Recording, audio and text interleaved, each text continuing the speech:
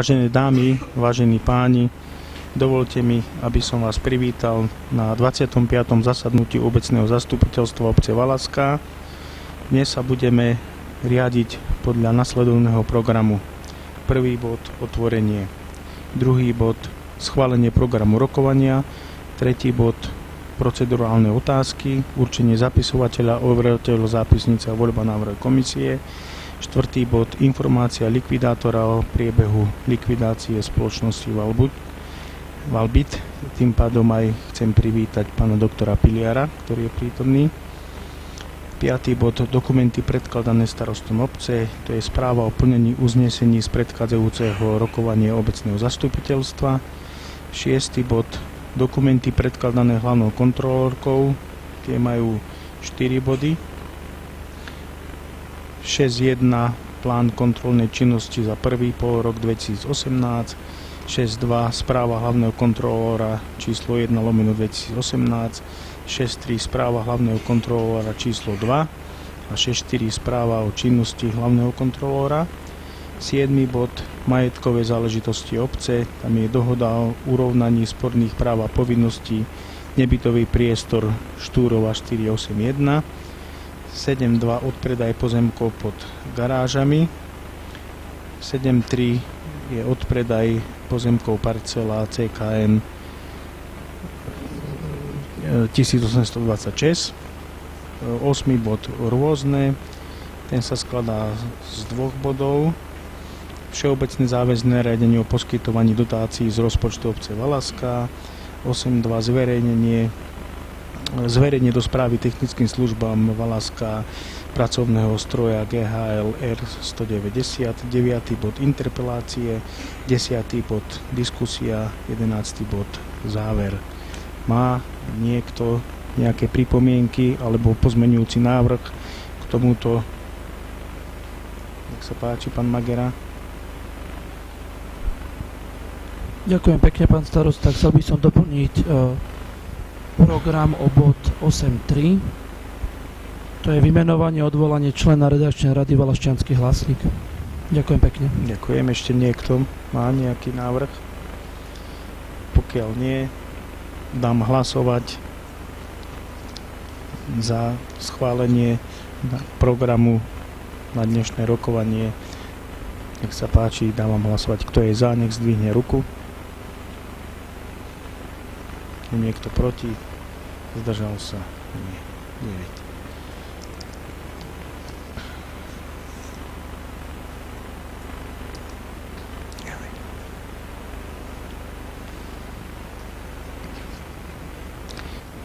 Dobre, prejdeme na tretí bod.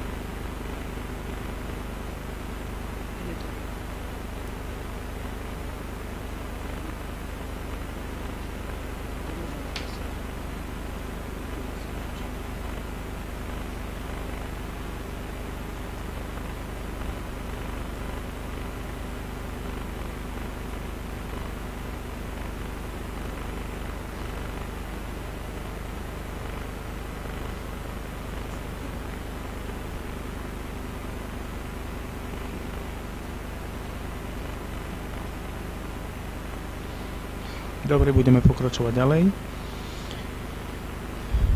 Za zapisovateľa zápis, bod číslo 3 za zapisovateľa zápisnice určujem pána magistra Petra Cígera, za overovateľov zápisnice pani Pacerovú a pána Filipka. Do návrhovej komisie navrhujem za predsedu pána inžiniera Petra Bánika, za členov pána inžiniera Dundoviča a pána Hucíka.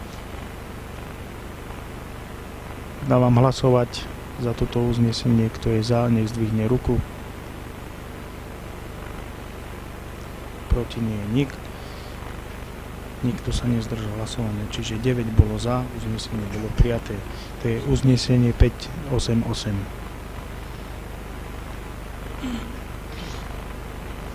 Ďalej nasleduje bod číslo 4, informácia likvidátora o priebehu likvidácie spoločnosti Valbit. Tak ja mu odozdávam týmto slovo.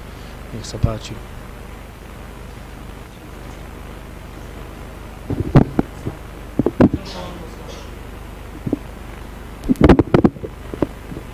Ešte raz. Vážený pán starosta, vážené pani poslankyne, vážení páni poslanci. Bol som vymenovaný do funkcie likvidátora spoločnosti Valbit. Pred dvoma dňami som finančnej komisie už predniesol správu z priebehu likvidácie. Teraz ju prednášam obecnému zastupiteľu. 20.11.2017 rozhodol jediný spoločník, to znamená obec Valaska, o vstupe do likvidácie spoločnosti Valbit, pričom som bol vymenovaný do funkcie likvidátora a likvidáciu budem vykonávať ako advokát. 6.12. prebehlo rokovanie s predsedami bytových spoločenstiev o tom, že spoločnosť vstúpila do likvidácie a bolo im oznámené, že budú ukončené s nimi všetky zmluvné vzťahy. 13.12. som si za asistencie konateľky spoločnosti Halda Žesero prevzal účtovné doklady za účelom vypracovania mimoriadnej účtovnej závierky. Mimoriadnú účtovnú závierku je potrebné vyhotoviť, pričom e, zo zamestnancov Valbitu e, nebol nikto ochotný vyhotoviť túto účtovnú závierku, tak som oslovil externú spoločnosť, ktorá e, zabezpečí túto mimoriadnú účtovnú závierku. 13.12. taktiež prebehlo ďalšie rokovanie s predsedami bytových spoločenstiev a zástupcami vlastníkmi bytov v priestoroch spoločnosti, kde som im oznámil teda, že si majú nájsť nové správcovské spoločnosti, ktoré im budú vykonávať správu bytových domov. Um, v priebehu mesiacov december až február som urobil právne úkony k tomu, aby buď boli skončené zmluvné vzťahy s dodávateľmi pre spoločnosť Valbit, SRO v likvidácii, alebo sa upravili tie zmluvné vzťahy v tom rozsahu,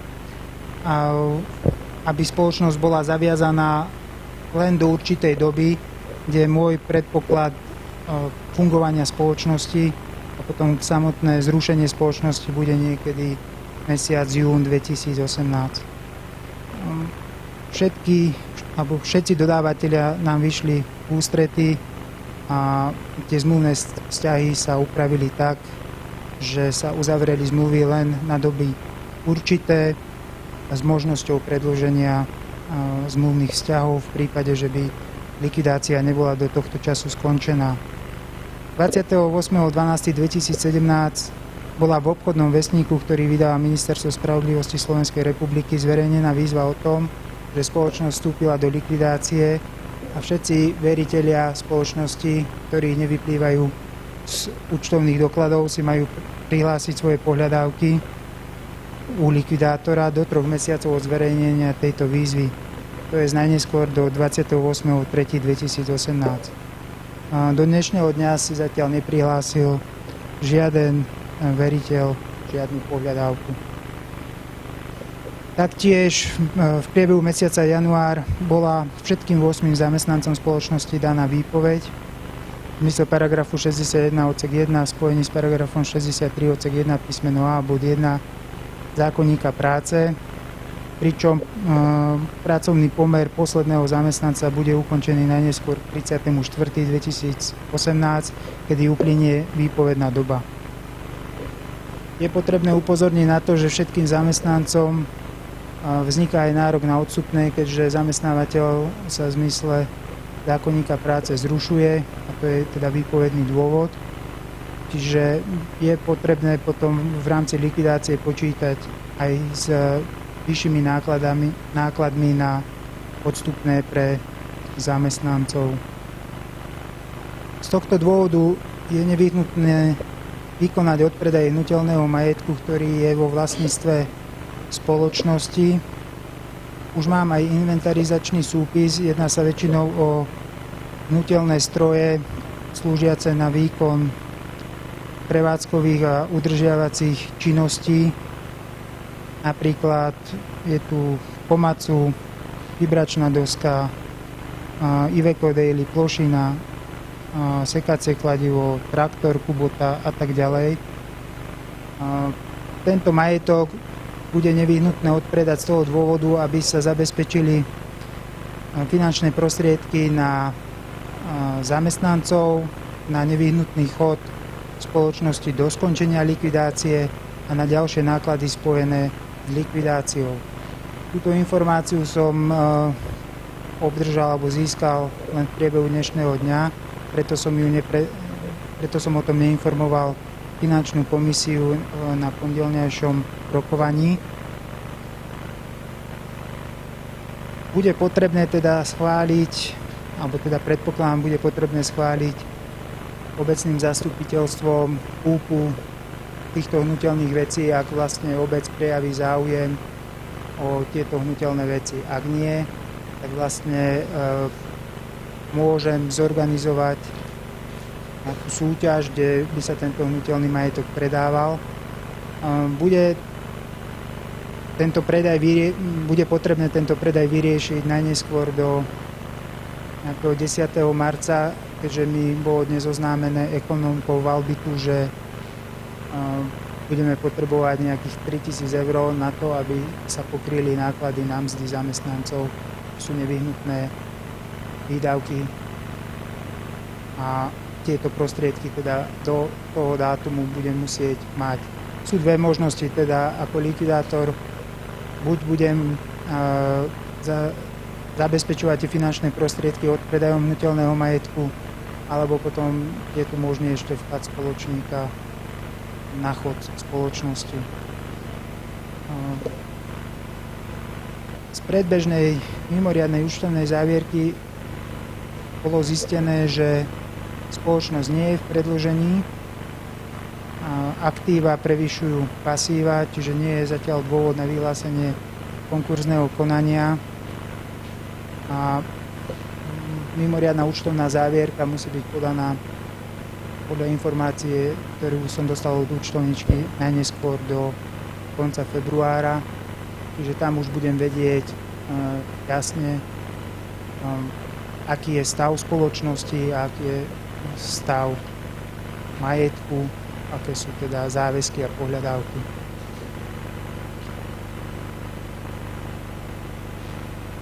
Do konca apríla 2018 chcem ukončiť aj zmluvné vzťahy e, so spoločenstvami a respektíve vlastníkmi bytových a nebytových priestorov buď dohodou alebo výpovedou, ale teda budem im odporúčať e, dohodu z toho dôvodu, že od 1. mája nebudem mať žiadnych zamestnancov, ktorí by mohli vykonávať správu. E, viem, že už prebiehali nejaké schôze, kde si e, spoločenstva a vlastníci hľadali alebo diskutovali o tom, kto by mohol pre nich vykonávať správu.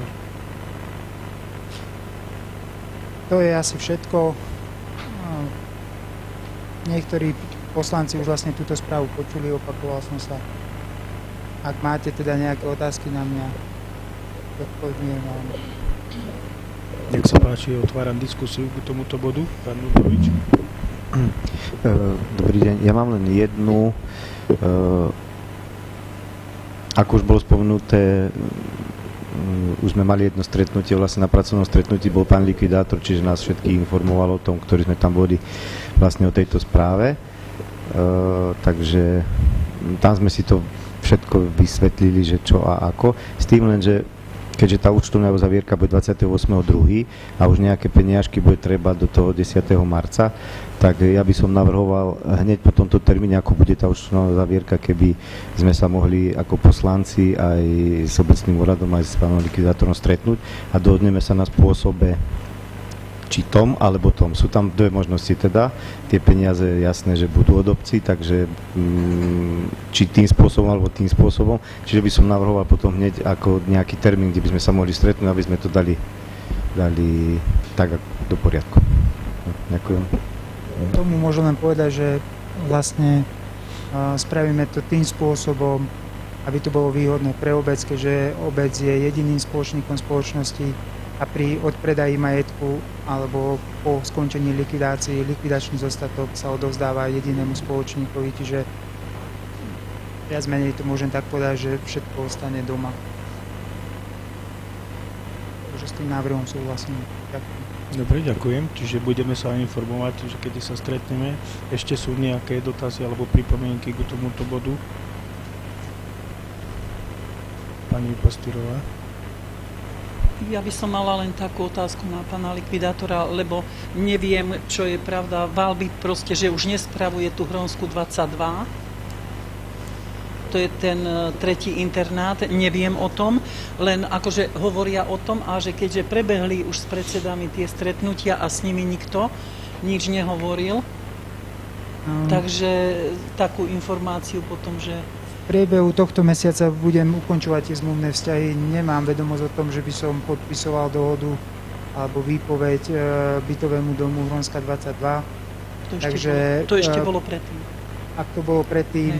Bude, budem to mať niekde v dokumentoch, ale e, momentálne z mojej strany určite som ja zmluvný vzťah s Hronskou 22 neukončil, mm. neukončil.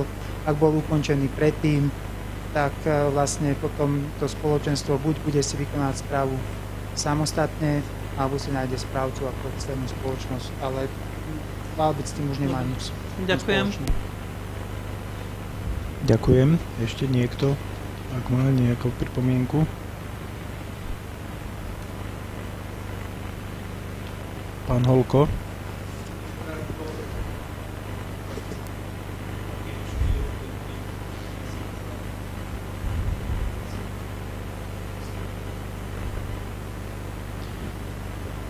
Mm, podľa toho inventarizačného súpisu hodnota majetku, ale teda predpokladám, že to je nadobúdacia, je 303 424,34 eur.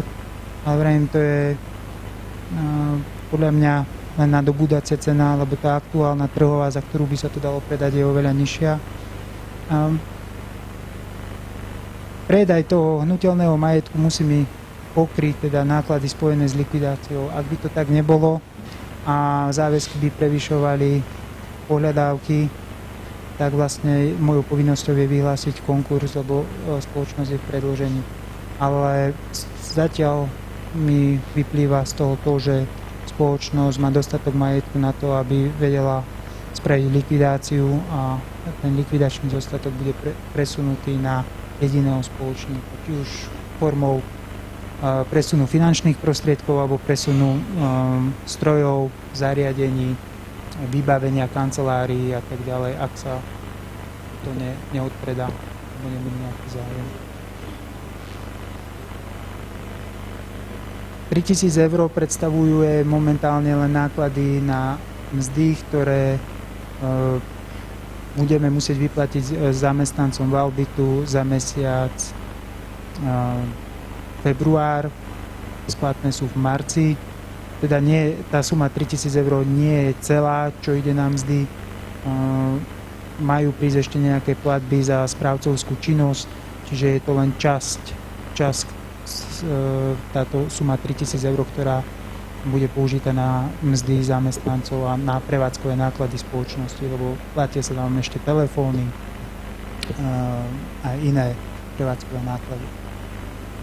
Čiže a bude to určite vyššie, čo budeme potrebovať ako spoločnosť, ale vrajím, budú prichádzať ešte zálohové, teda platby za správcovskú činnosť, ale keďže už niektoré bytové domy odchádzajú alebo ukončí sa tá správcovská činnosť, tak budeme musieť nájsť finančné prostriedky niekde inde, aby zamestnanci dostali mzdy odstupné, aby boli teda pokryté ďalšie náklady spojené s e, likvidáciou, to znamená odmena likvidátora, archivácia dokumentov a tak ďalej. Dobre, ďakujem. Pán predseda, môžeš prečítať uznesenie?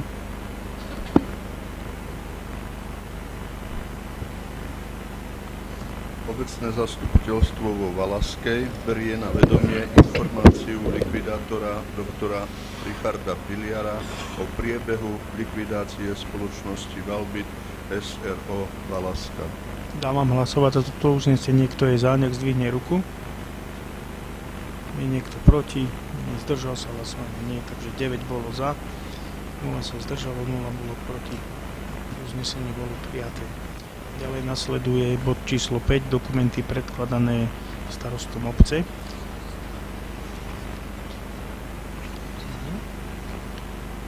Na základe toho, že pán Piliar nám vysvetlil všetko, čo sme potrebovali, tak ďakujem, že ste sa zúčastnili.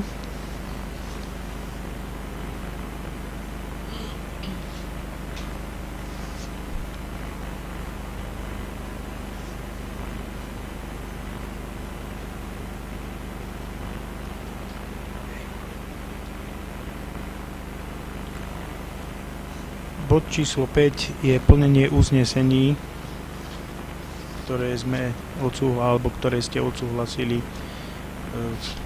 Nebudem ich všetky čítať, lebo ich je strašne veľa. Ja by som navrhol, že ak niekto z poslancov má k tomu nejakú pripomienku alebo nejaký iný návrh alebo nejaký bod, tak sa k tomu vyjadri, ale preberali sme to v pondelok na pracovnom stretnutí a v podstate nebola k tomu žiadna dôležitá pripomienka. Je to väčšinou uznesenia, ktoré sa týkajú odpredaju garáží, návrhy plánu zasadnutí, dokumenty predkladané kontrolórkou, financovania správ majetku, všetko bolo prejednané na všetkých komisiách. Pondelok sme nemali k tomu žiadnu pripomienku, tak by som navrhoval, aby sme tento bod pristúpili ku hlasovaniu.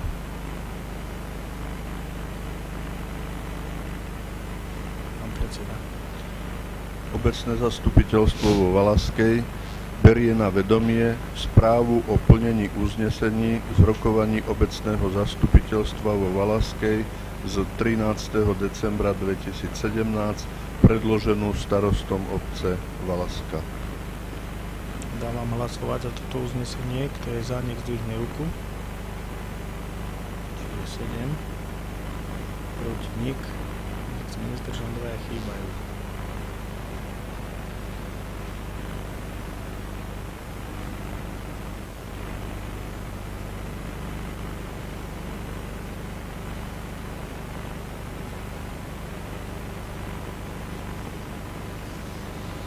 Dobre, prejdeme na bod číslo 6. Dokumenty predkladané hlavnou kontrolórkou obce Valaska. Nech sa páči.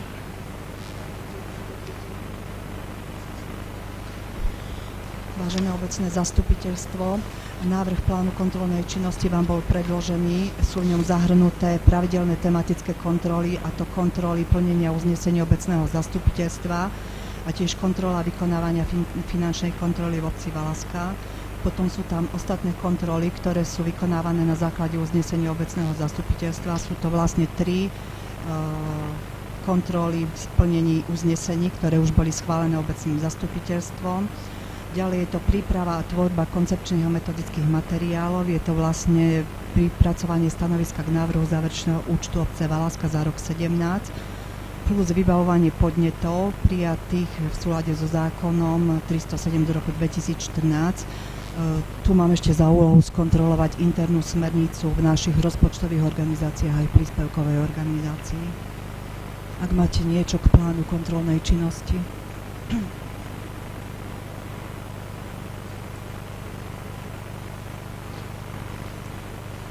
Ak nemá nikto nič ku tomuto bodu, tak dávam hlasovať za uznesenie. To bude 591, e, respektíve pán predseda prečítaj ho. Obecné zastupiteľstvo Valaskej schvaľuje plán kontrolnej činnosti hlavného kontrolora obce Valaska na prvý pol rok 2018. Dávam hlasovať za toto uznesenie. Kto je za, nech zdvihne ruku. Je niekto proti? Nie. 0 sa zdržalo, čiže 9 bolo za. Uznesenie bolo prijaté. Ďalší bod, 6.2. Ďalší bod je správa o výsledku kontroly číslo 1 z roku 2018. Túto kontrolu sme prebrali podrobne na pracovnom zastupiteľstve v pondelok. E, kontrolovala som tejto kontrole kontrola dodržiavania postupu pri vydávaní všeobecne záväzných nariadení obce a kontrola obsahových náležitostí a súladu vybraných ustanovení všeobecne záväzných nariadení obce so všeobecne záväznými právnymi predpismi. Obec Valaska nemá vypracovaný interný predpis pri vydávaní VZDniek, pri ich vydávaní sa riadi všeobecne záväznými právnymi predpismi, článkom 9 štatútu obce Valaska a paragrafom 13 rokovacieho poriadku obecného zastupiteľstva. Hlavná kontrolórka pri výkone kontroly skontrolovala postup pri vydávaní VZDniek e, o miestnom poplatku za komunálne odpady a drobné stavebné odpady. E, tu bolo len jedno kontrolné zistenie pri tomto postupe a to nepostupovalo sa v súlade s paragrafom 6 odsek 7 zákona o obecnom zriadení. Vyhodnotenie pripomienok sa musí predložiť poslancom v písomnej forme najneskôr 3 dní pred rokovaním obecného zastupiteľstva. Hlavná kontrolórka na odstránenie zisteného nedostatku a príčiny jeho vzniku odporúča z dôvodu, že rokovacím dňom obecného zastupiteľstva je streda, odporúčam návrh nariadenia, o ktorom má rokovať obecné zastupiteľstvo, zverejňovať najmenej 17 dní pred rokovaním obecného zastupiteľstva, aby sa vyhodnotenie pripomienok mohlo predložiť poslancom v piatok pred rokovaním obecného zastupiteľstva, to je dodržalo by sa ustanovenie paragrafu 6 odsek 7 zákona o obecnom zriadení Tiež chcem povedať, že nedodrženie tohto ustanovenia nemalo vplyv na platnosť všeobecne záväzného nariadenia. Potom obecné zastupiteľstvo vo Valáskej vo všeobecne záväznom nariadení číslo 1 z roku 2014 zaviedlo s účinnosťou od 1. mája, od 1. januára 2015 dan z nehnuteľnosti, konkrétne dan z pozemkov, dan zo stavieb, dan z bytov, dan za psa, dan za užívanie verejného priestranstva, dan za ubytovanie a dan za predajné automaty a za nevyherné hracie prístroje. Hlavná kontrolórka skontrolovala u daní z pozemkov súlad paragrafu 2 základ dane a súlad paragrafu 3 sadzba dane. U daní zostav je paragraf 4 sadzba dane s ustanoveniami zákona o miestnych daniach a miestnom poplatku za komunálne odpady a drobné stavebné odpady bola len taká jedna malá pripomienka a to zosúľadiť e, s novelou, e, teda s prílohou zákona tieto sadzby. E, ďalej, obecnému zastupiteľstvu platná právna úprava stanovuje povinnosť uložiť miestny poplatok za komunálne odpady a drobné stavebné odpady, ktorý je zákonodárcom konštruovaný ako obligatórny. Miestny poplatok za komunálne odpady a drobné stavebné odpady je povinné uložiť formou všeobecne záväzného nariadenia každé obecné zastupiteľstvo. Obec Valáska vo všeobecne záväznom nariadení číslo 3 z roku 2017 uložila s účinnosťou od 1. januára 18 miestny poplatok za komunálne odpady a drobné stavebné odpady. Oproti predchádzajúcemu VZN, ktoré bolo v platnosti do 31.12.17, Eh, obec Valáska zosúladila v paragrafe 2 poplatník odsek 1 s platnou právnou úpravou zákona o miestnych daniach a miestnom poplatku, tiež s paragrafom 77 odsek 2 písmeno A. Zosúladila aj paragraf 6 sadzba poplatku s platnou právnou úpravou s paragrafom 78 odsek 1 zákona o miestnych daniach a miestnom poplatku. K danej kontrole všetko. Má niekto nejakú pripomienku k tomuto bodu? pán Lundovič? Uh, ja len, ja len pripomeniem, aby to bolo aj pred občanmi uh, jasné tu, ako hlavná kontrolórka podotkla, nemáme vypracovanú internú smernicu na, na tieto VZDNK a uh, ten problém, ktorý pomenoval, že ten jeden deň, ktorý, aby sme to dostali skôr, ten, ten jeden deň, keď vyjde vtedy ten víkend, nie je ten hlavný problém hlavný problém, čo, čo sa, o čom som rozprával na pracovnom a čo dúfajme teda, že, že prejde e, cez obecný úrad je ten, že poslanci nie, neboli a nie, nie sú zatiaľ e, účinní v procese tvorby VZDNK a vidia to len naozaj vtedy, keď už je to vyvesené von, čo je pozde.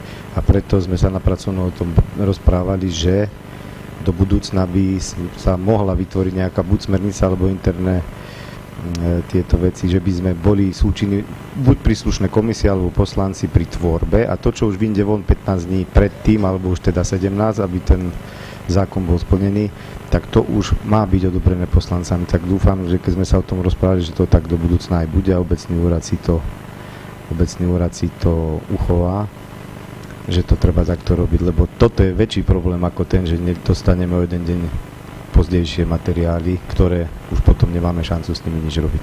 Ďakujem. Prednosta. Ďakujem.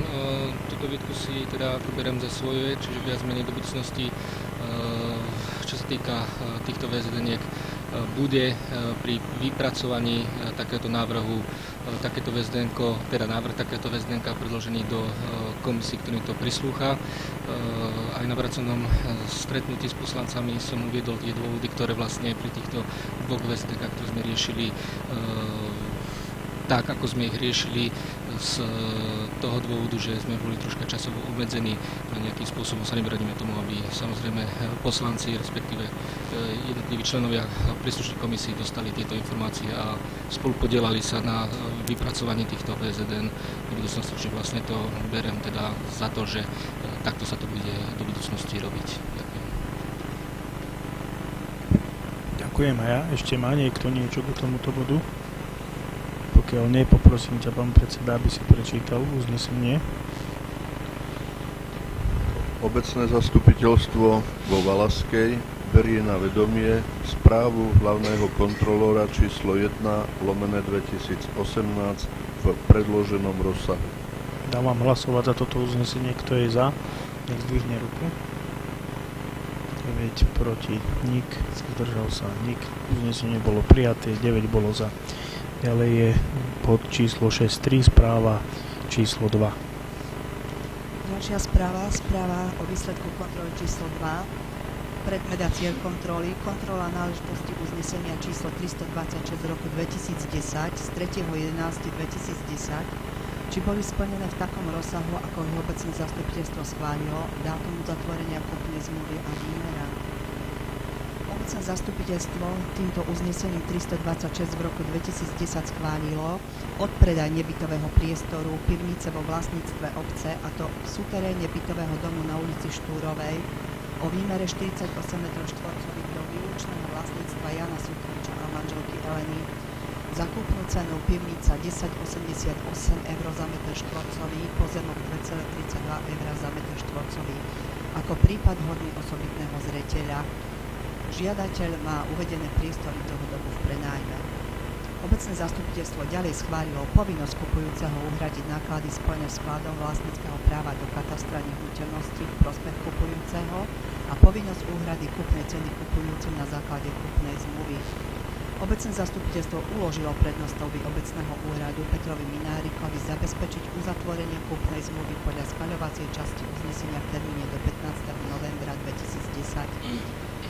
Obecné zastupiteľstvo určilo stratu účinnosti uznesenia, ak kúpna zmluva nebude uzatvorená do 15.12.2010. Za predmetné uznesenie hlasovalo všetkých prítomných 9 poslancov. Kúpna, kúpna suma bola uhradená suma 522,24 eur za pivnicu nebytový priestor a 94,49 eur za pozemok bola uhradená prevodným príkazom dňa 13.12.2010 na účet obce Valaska. V uzatvorenej kúpnej zmluve v časti 1 predmet zmluvy po A obsahovala kúpna zmluva e, schválenú výmeru 48 m štvorcových. S vlastníctvom bytov a nebytových priestorov je spojené aj spoluvlastníctvo spoločných častí a spoločných zariadení a príslušenstva domu postaveného na pozemku parcela CKN číslo 1517 vo Valaskej. Kúpna zmluva v časti B a C obsahovala nesprávny podiel a to 12 275 lomené 229 033 k spoločným častiam, spoločným zariadeniam, príslušenstvu domu a k pozemku pod bytovým domom k jednému nebytovému priestoru. Správne mal byť uvedený podiel na spoločných častiach a spoločných zariadeniach a spoluvlastnícky podiel k pozemku vo veľkosti 4800 lomené 229 033. Týmto nesprávnym postupom pri povoľovaní vkladu v operáte katastra nehnuteľnosti došlo k situácii, kedy je na liste vlastníctva v operáte katastra nehnuteľnosti vedenom okresným úradom Brezno odbor katastrálny evidované spoluvlastníctvo k spoločným častiam, spoločným zariadeniam a príslušenstvo domu a k pozemku pre Jana Sukiča a manželku ako vlastníkov nebytových priestorov v rozpore so skutkovým stavom na úkor obce Valaska. Právnym prostriedkom k dosiahnutiu zmeny zápisu v katastre nehnuteľnosti tak, aby skutočnosti zodpovedali požadovanému právnemu stavu, je v zmysle občianského zákonníka podľa paragrafu 585 písomná zmluva, čiže dohoda, dohoda o sporiadaní vlastníctva nebytových priestorov v rámci bytového domu medzi manželmi Sukyčovcami a otcov Valaska. K uzavretiu kúpnej zmluvy došlo dňa 9.12.2010, to je v rozpore s ukladacou časťou uznesenia, podľa ktorej mala byť kúpna zmluva uzatvorená do 15.11.2010. Zároveň však bol dodržaný dátum stanovený pre e, stratu účinnosti uznesenia. Takisto bolo obecným zastupiteľstvom uložené e, pánovi e, prednostovi úloha obecné zastupiteľstvo e, podľa zákona o obecnom zriadení nemalo právomoc ukladať úlohy prednostovi obecného úradu. Záver, návrh dohody o urovnaní medzi obcov Valaska a Janom Sukičom a manželkou Elenou je pripravený na rokovanie obecného zastupiteľstva na dnešný Ďakujem. Sú nejaké pripomienky k tomu? Nech sa páči, pán Numdovič. E, ja len ako som podotkol na pracovnom, mne tam chýbal ešte v tej správe, e, že sa tam robil 9. februára ešte dodatok tej zmluvy, ale ako sme sa bavili na pracovnom, takže to nám nebolo nič také dôležité, len nejaké slova, čiže asi pravdepodobne kvôli tomu to tam nie je. Skôr, skôr by som chcel teraz apelovať na obecný úrad.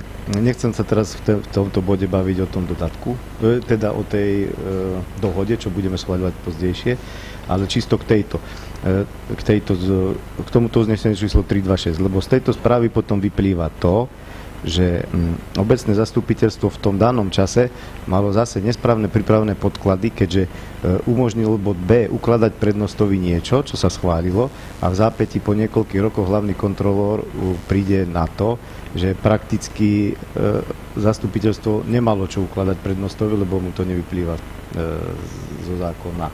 Čiže ja by som chcel apelovať na obecný úrad, čo sa tohto týka, aby pripravilo do budúcna tak podklady pre poslancov, aby keď niečo schvaľujú, aby nemuselo pár rokov prísť tomu, že nejaký ďalší kontrol príde na to, že naše uznesenia boli zlé z titulu toho, že e, sme niečo nemohli robiť. Nikto z nás tu tiež nie je právnik, aby, aby sme riešili tieto veci. Máme obecného právnika, čiže aby do budúcna prišlo, e, neprišlo k takémuto presnému e, príkladu, čo je, čo je tu teraz. To je ten prípad, že sa schválilo niečo, čo sa nemalo a potom, e, potom v očiach verejnosti vyzeráme naozaj, keď niečo potom musíme hasiť ako nie dobré. Nie, nemyslím len poslancov, ale aj obecný úrad celý. A čo sa týka celej tejto, celej tejto veci, tak uh, rozprával som sa rozprával som sa s, so správcom, respektíve správcom, zástupcom toho bytového spoločenstva, a keď mi rozprával celú tú chronológiu, ktorá sa stala vlastne s týmto nebytovým priestormi, tak e, no bolo to aj ťažké počúvať vlastne, ale keď sa to skôr týkalo tej éry predtým, kde sa to schválilo, tak e, ťažko je to tu rozoberať, aby som zase neprišiel do toho, že tu niekoho chcem obviniť z niečoho, len e, len tuto sa stala veľká chyba, lebo obecné zastupiteľstvo splnilo niečo, čo, teda schválilo niečo, čo sa nakoniec neudialo a pokazilo sa to medzi obecným úradom a katastrom.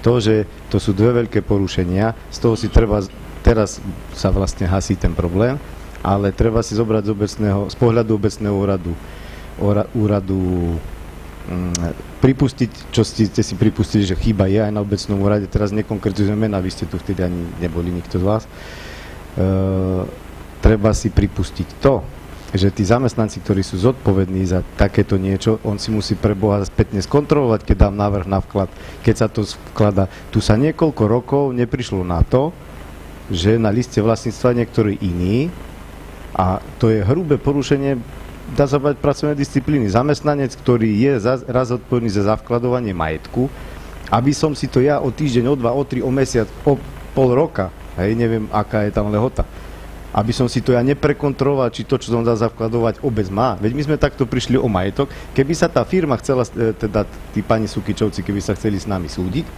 však majú na liste vlastníctva. Môžu sa. My de facto ďalšie pochybenie obec prenajíma priestory, ktoré nie sú ich, na liste vlastníctva nie sú ich. Ďalšie pochybenie, aj tí ďalší sa môžu súdiť. Čiže sme v takom právnom váku, ale takom zlom pre nás.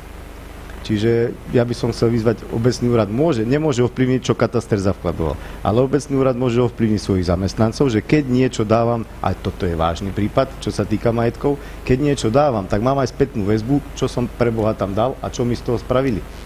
Ďakujem. Ďakujem. Ešte niekto? Pán Bánik? Ďakujem za slovo.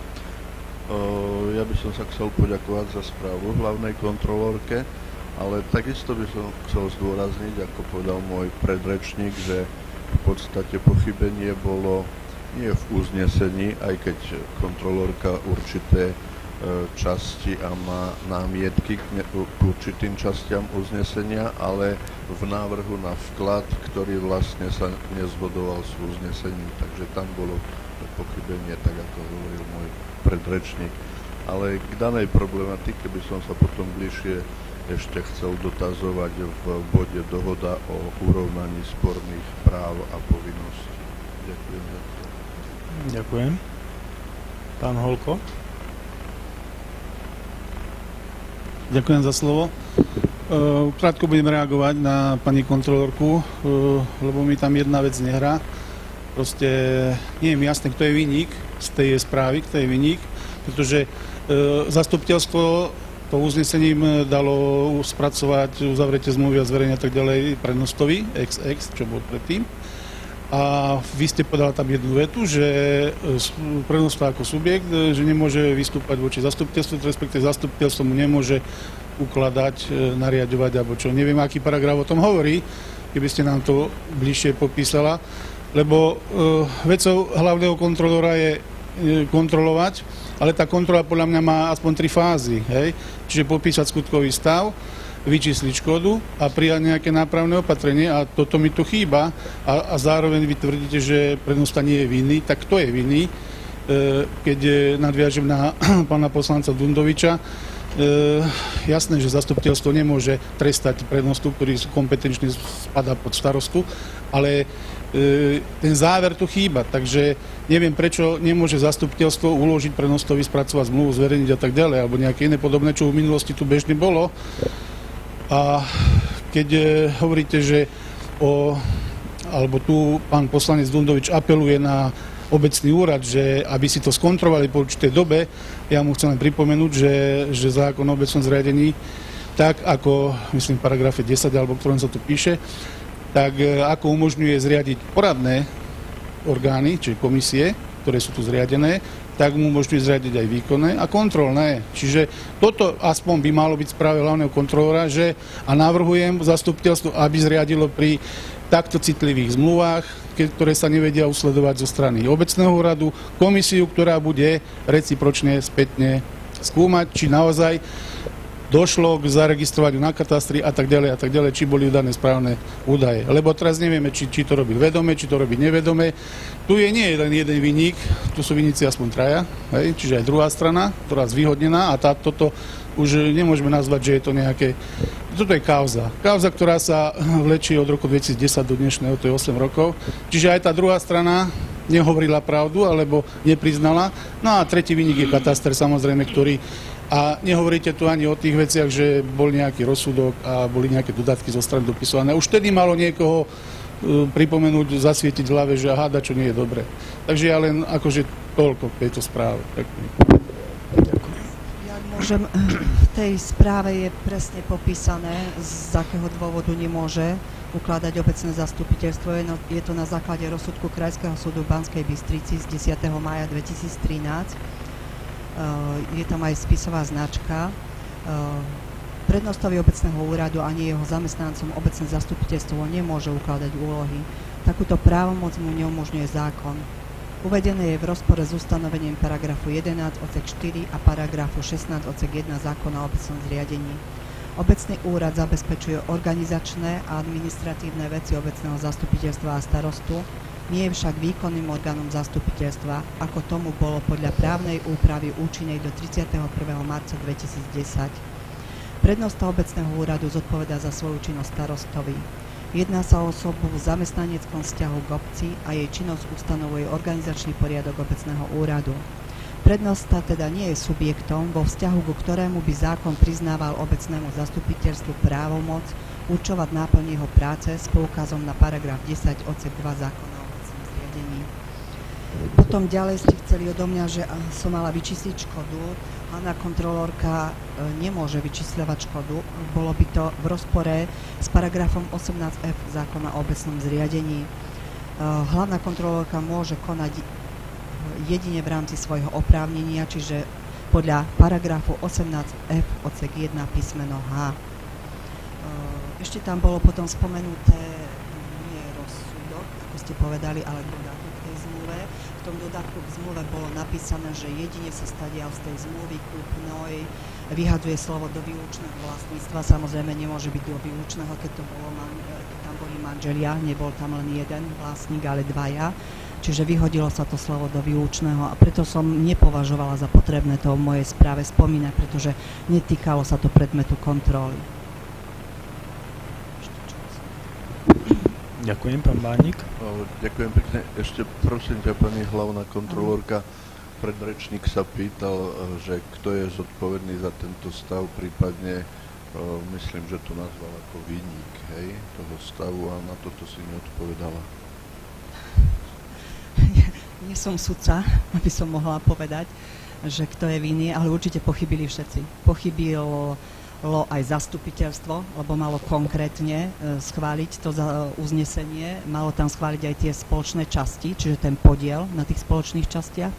Pochybil obecný úrad určite, alebo zle pripravil kupno-predajnú zmluvu a pochybil aj kataster. Pán prednosta?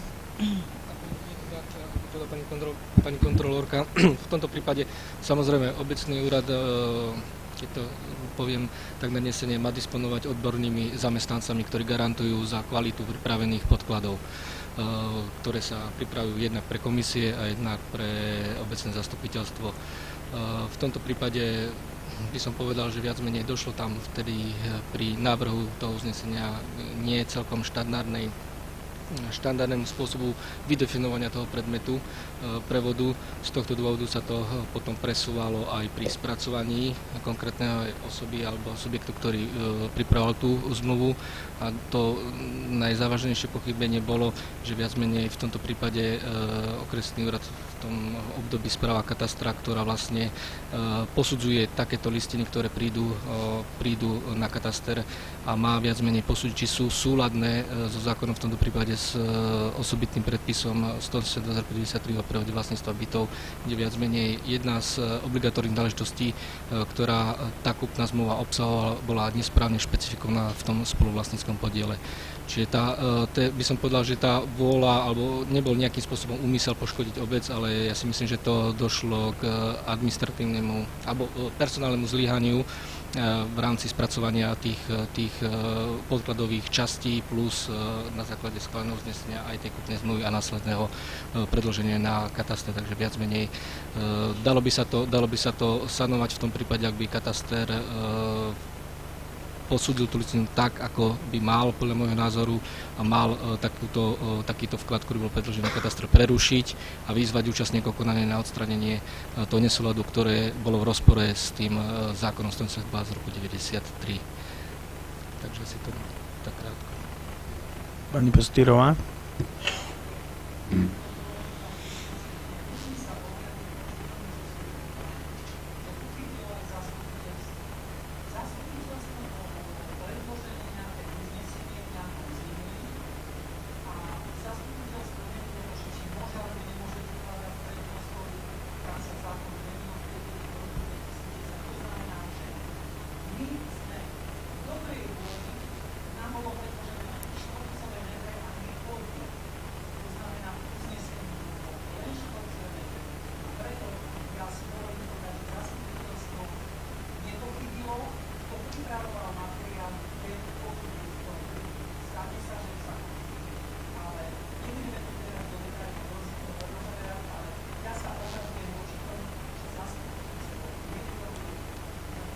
Môžem, ja?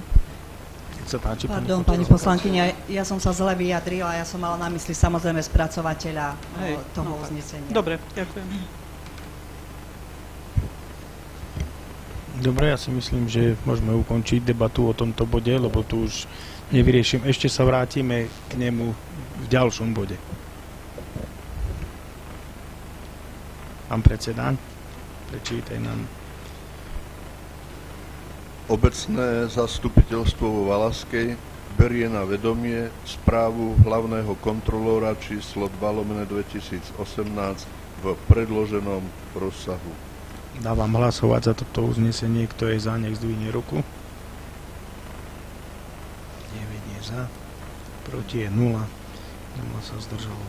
Dobre, ďalej nasleduje bod 6.4, Áno. doplnený. Potom je tam ďalšia správa, správa o kontrolnej činnosti hlavnej kontrolórky obce Valaska za minulý rok. E, Sú tam vypísané e, všetkých 10 kontrol, ktoré som za minulý rok urobila, plus tie kontrolné zistenia. Ďalej je tam spomenuté, že som vypracovala stanovisko k návrhu záverečného účtu za rok 2016. Ďalej stanovisko k návrhu rozpočtu obce Valáska na roky 18 až 20.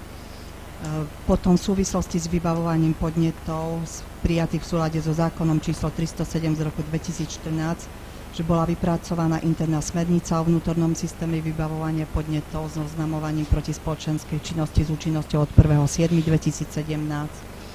Potom je tam popísaná iná činnosť a, a to je všetko v tej danej správe. K tomuto bodu má takto niečo?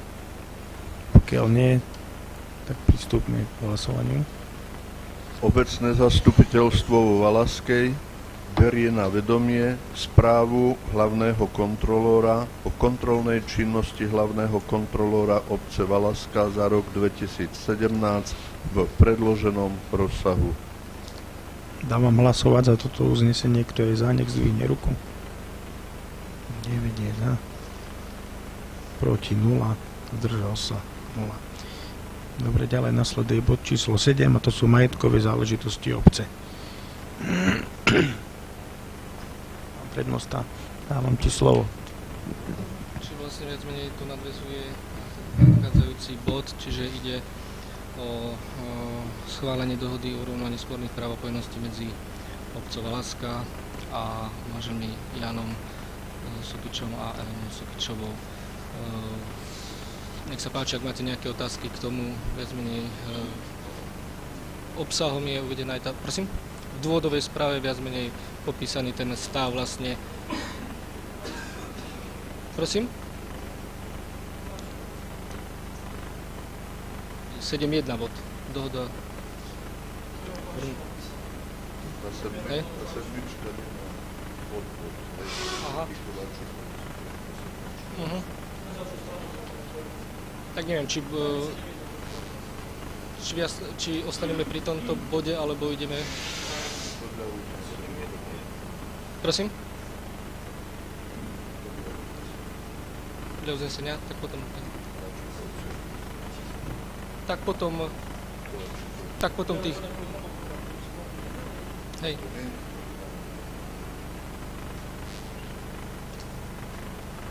Ideme si... Majetkové, sedmička majetkové záležitosti, 7.1, 7...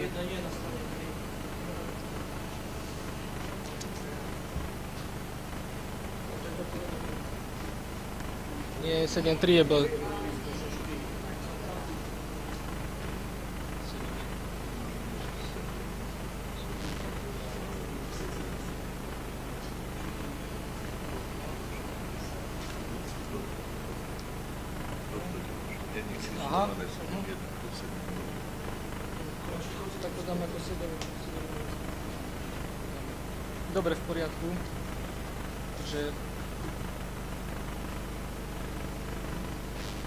vrátime sa teda k e, bodu nazveme ako 7.0, to schválenie odpredaja nehnuteľného majetku rodina Kovačko Valaska. Čiže vlastne e,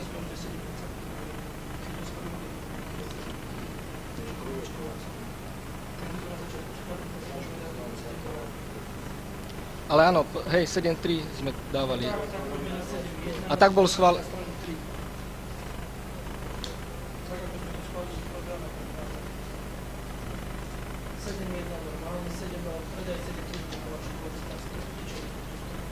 A takto bol schválený program, tak bolo by dobre. Sice dobre.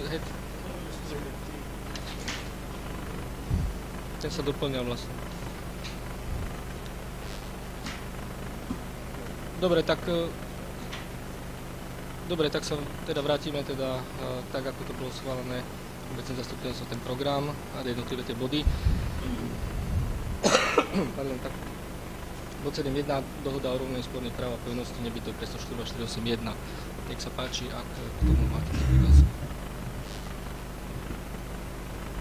Pán Bánik. Ďakujem za slovo. Ja už pri tej správe hlavnej kontrolórky som povedal, že budem mať určité pripomienky k dohode o urovnaní sporných práv a povinností.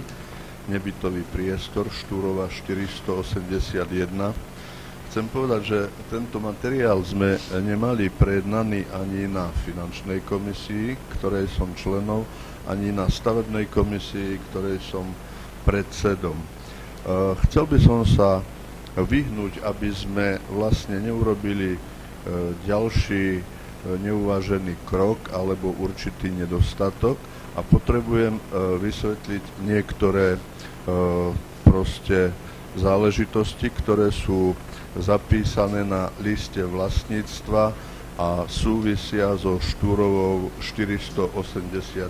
E, súčasný stav nebytových priestorov v, na LVčku je zapísaný vchod číslo 1, poschodie 1, priestor 94, vlastník obec Valaska podiel 13 300 lomené 229 033. Nebytový priestor v tom istom vchode, na tom istom poschodí, priestor 95, e, je zapísaný na liste vlastníctva na pán Sukič a pani Sukičová, podiel 12 275 lomené 229 033 v návrhu na uznesenie, na uznesenie máme, že v podstate e, budeme schváľovať alebo, alebo robiť dohodu o urovnaní na nebytový priestor, ktorý je označený 9.5 a 9.6. Čiže teraz v podstate ja neviem, či v tom vchode 1, na poschodí 1, budeme mať tri nebytové priestory, z ktorého jeden bude vlastník, ob, vlastniť obec, tak ako som čítal, ten čitateľ 13 300, plus teraz tu, čo je navrhnutých 7475 a Sukičovi 4800, e, lebo vychádza mi to tak, že ten priestor, ktorý je momentálne zapísaný na katastri 9.5, sa rozdelil teraz na 7475 a 4800. Čiže poprosil by som o vysvetlenie, ako to bude.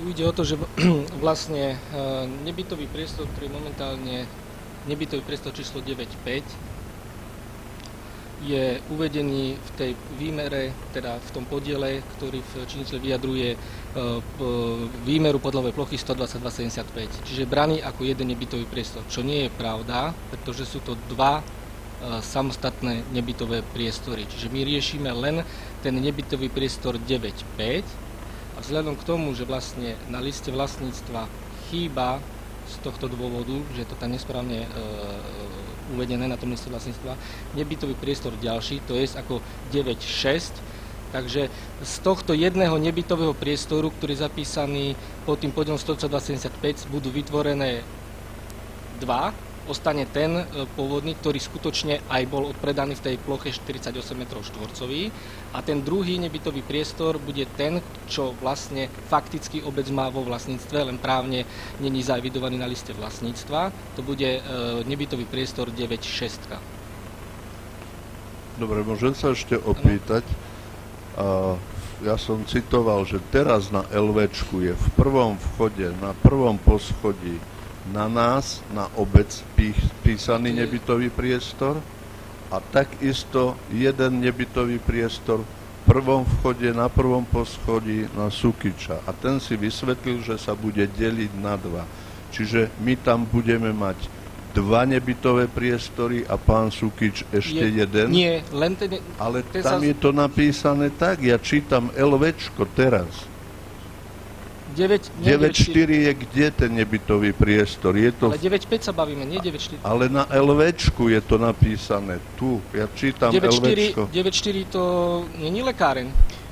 Peťo, ja, ja teraz ma to napadá, teraz ma napadá, keď... Ináč Roz... takto, ináč ono je to nesprávne takto.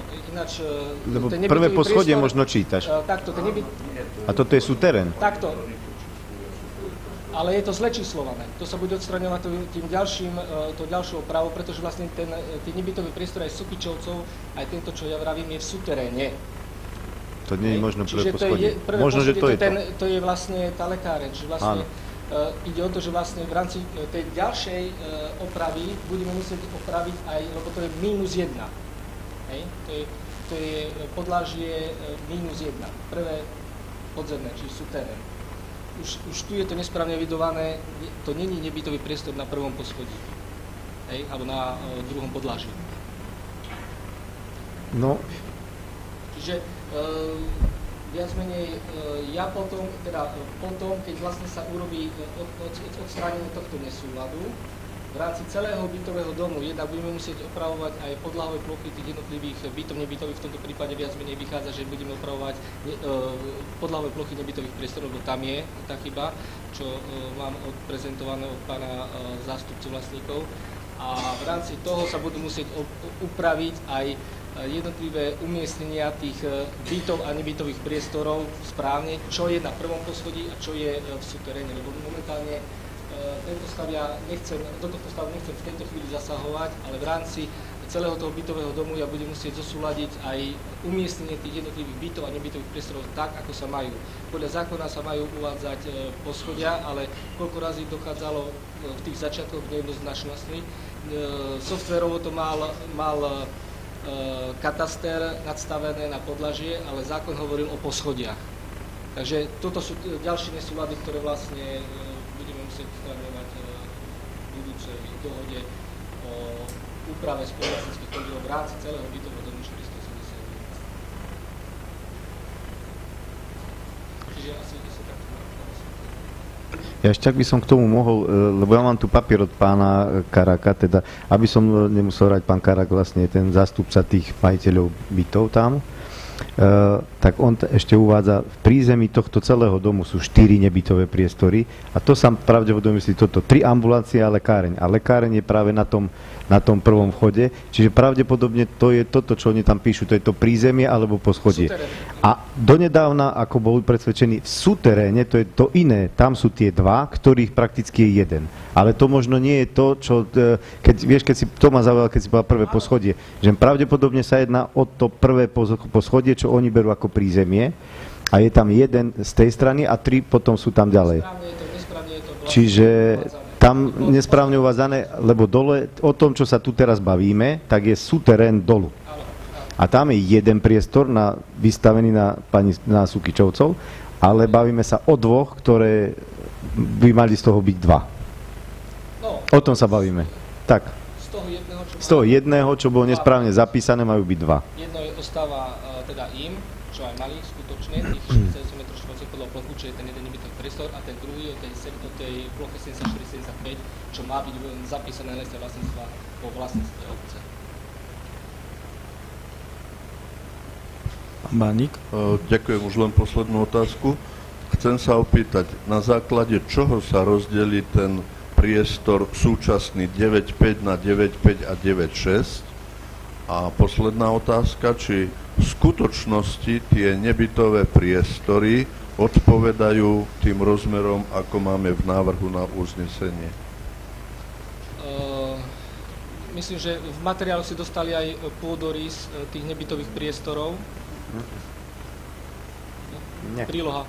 Nebo, Teda, ak som si nevytlačil, ale neviem.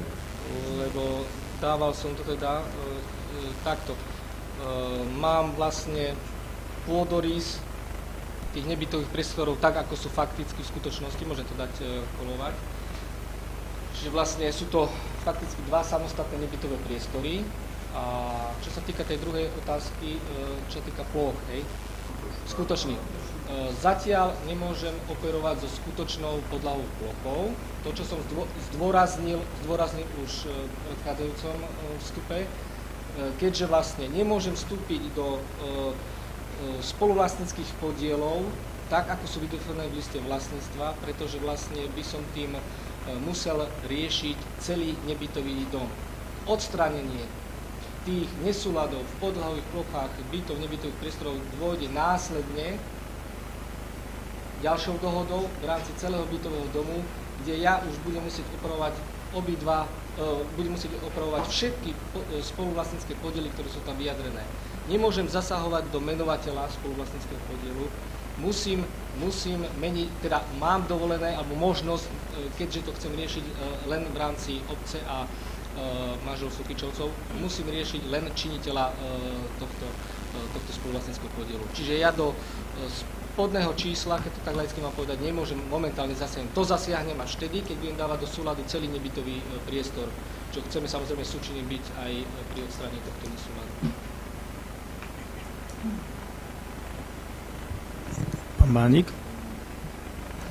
Prepačte, že tak ako častejšie vstupujem do diskusie, ale na základe toho, čo teraz si povedal ty prednosta, tak ja nebudem hlasovať za toto uznesenie, lebo tu je konkrétne napísané, že je to prvý nebytový priestor o rozmere 48 metrov štvorcových a druhý 74,75 a teraz si povedal, že nevieš, či v skutočnosti sú takéto rozmery na, v tom nebytovom priestore. Čiže v podstate zás príjmeme uznesenie, ktoré sa nebude zhodovať so skutkovým stavom. Ale treba, treba si uvedomiť jednu vec, postupnosť krokov ja musím najprv odstrániť ten faktický a právny stav, čo týka vlastníctva. A v tom druhom kroku ja môžem zosúľaďovať tie e, podlahové plochy tak, ako sú skutočné. Nemôžem to jednak ani otočiť, ani predbehnúť. Hej. Mohol by som sa teda baviť o e, odstránení e, nesúladu v podlavých plochách, ale dôjdem k tomu, že stále mne ten nebytový priestor obecný, čo ho tam nemám, nebude ja najprv ho musím dostať e, do tej evidencie v katastri, keď už budem mať všetky tie nebytové priestory tak, ako majú byť, potom môžem ja zosúľadovať. Čiže tam je tá postupnosť krokov. Áno, ja musím zatiaľ operovať s tými, e, s tými výmerami podlahových ploch nebytových priestorov tak, ako sú momentálne evidované. Žiaľ Bohu, je to tá nejaká postupnosť, ktorá musí byť dodržaná, aby som, ja nedostal sa do kolízie s týmito dvomi právnymi konami, to je najprv usporiadať ten faktický a právny stav a potom odstrániť nesúlady v tých eh, podlahových plochách, hlavne tých nebytových priestorov. Takže preto, tak ja nehovorím, že asi nie, ale ja tvrdím, určite nie sú správne tie podlahové plochy. Za tým si stojím a Každopádne z tohto dôvodu ja tú postupnosť musím, musím zachovať a budem zatiaľ rešpektovať ten stav, aký je, aby som dosiahol aspoň to, aby na liste vlastníctva fakticky aj právne existoval aj ten nebytový priestor, ktorý existuje aj na liste vlastníctva a potom budem odstraňovať tie ďalšie nesúlady v rámci bytového domu. Hej, takže ja e, aj teraz vám môžem povedať na rovinu, nie sú to momentálne presné e, výmery tých podľa ploch, ale momentálne musíme rešpektovať ten stav, aký je vydovaný na tom liste vlastníctva, že nemôžem hýbať s tými spoluvlastníckými podielmi v rámci celého bytového domu. To môžem až v tej druhej etape. A ide, e, pardon, ešte doplním, viac menej e, Dôvodom je aj to, že prakticky tí obyvateľia momentálne majú problém si nájsť správcu z toho dôvodu, že je tam ten nesúlad a každopádne, aby, aby sa aj oni posunuli e, niekam ďalej, tak e, potrebujeme tie kroky urobiť e, tak, ako, ako, ako viac menej som vám spomenul. Takto to boli, bolo to prekonzultované aj so katastrom, teda okresným úradom odbor katastrálny. Tento postup viac menej máme už prekonzultovaný, že takýmto spôsobom to budeme odstraňovať. Ďakujem, pán Ludovič. Ja sa tiež tomu bodu vyjadrím, pretože ako som už povedal v pondelok na pracovnom, aj predtým, e, celý tento postup a celá táto dohoda sa mi nepáčila z jedného pohľadu a to z toho, ako pani Pastrová povedala, že si nie je vedomá chyby zastupiteľstva. Ja tiež tvrdím, že nebola to chyba zastupiteľstva a zastupiteľstvo v dobrej viere vtedy schválil 48 m štvorcových a pokazilo sa to niekde inde. Čiže ja ešte v pondelok som e, bol proti takejto dohode, že na čo má zase obecné zastupiteľstvo do toho zasahovať, keď sa to má vyriešiť niekde inde. Eh, keďže ty si, ako pán prednosta, si vysvetlil, že nemáš inú možnosť, ako to dať do takej nápravy v dohľadnom čase len takouto dohodou, však pondelok si nám to vysvetlil, že to, že to je tak. Eh, vysvetlil si to aj s pánom Karakom, eh, viem, že ste spolu vraveli. Ja som s ním takisto komunikoval a tiež povedal, že Eh, oni čo najrychlejšie potrebujú dostať túto úpravu naspäť k sebe, aby sa s tým činžakom mohlo niečo robiť, lebo momentálne oni ostávajú tak, že nemôžu mať ani správcu, ani si niekoho vytvoriť s tým, že ešte zaťažujú ďalší činžak, lebo cez nich ide kúrenie na ten ďalší. Čiže oni potrebujú dostať do súladu presne to, e, tak ako prednosta navrhol, že musí spraviť. A s tými metrami štvorcovými aj on vie o tom rozdiele, ale takto raz, e, viem, e, to, čo si teraz povedal, tak tomu dobre rozumiem. Raz sa to tam dalo a tie metre štvorcové sa musia dať naspäť. A až potom následne na to sa môžu riešiť ostatné. Ja si myslím, že keď sme my každý nebytový priestor, čo máme, to sú postatky minulosti. Tam sa to búchalo cvol, cvol tam, takže keby sme všetky nebytové priestory, ktoré vo Valaskej sú a dali teraz merať, tak nemáme ich také na listoch vlastníctva. Čiže do budúcna len keď budeme niečo také robiť, tak dobre urobiť. Ale teraz chápem plne, že prečo sa to najprv musí dostať sem, naspäť, a až potom riešiť následne tie veci. Čiže po rozprave s pánom Karakom, aby ten činžak sme uvoľnili, uvoľnili od všetkých týchto vecí. S tým, že boli tam samozrejme aj nejaké podania na prokuratúru, lebo toto celé hraničí, to, to čo som spomínal, že mi pán Karak rozprával, tú históriu, to celé hraničí nechcel by som bol zaziať z niečoho obvinený, ale a teraz nenarážam ani na vás, páni, lebo však sa to začalo skôr, ako ste tu boli, ale hraničí to aj s určitou formou, dá sa povedať, že kvázi pod vodu, keď tak môžem povedať, ostro, ale ten činžák si vytrpel do svojej, rozprával mi o troch veciach, ktorom ho obec nepodržala. Celý ten činžák má proste prakticky problémy s tými nebytovými priestorami už uh, viackrát. Myslím si, že tri, tri veci mi spomínal pán, pán Karak, takže oni sú už cel, z toho celé, celý znechutení a potrebujú sa dostať do, do normálu, aby sa to všetko vrátilo tam spätne, kde sa to má vrátiť. Čiže z tohto dôvodu, e, podľa tohto rozhovoru budem teda ja hlasovať za. Pani Pastýrová. Ja len mám takú malú pripomienku k tomuto bodu, pán prednosta. Teraz sa zase ukázalo, že zase sa len niečo musí hasiť, čo sa voľa kedy domiešalo. Ale prečo? Prečo stále a e, to, čo roky poukazujem ja osobne na tieto veci pri predaji bytov a tak ďalej, stále sa niečo musí naprávať. A e, a nič sa nedieje a nik, nikomu sa nič neudeje. Vo fabrike by na hodinu dostal výpoveď taký zamestnanec. To je moja, moja mienka. Ďakujem. Ďakujem. Ešte má niekto z poslancov dáku pripomienku k tomu? Pokiaľ nie, navrhujem, aby sme prešli na hlasovanie.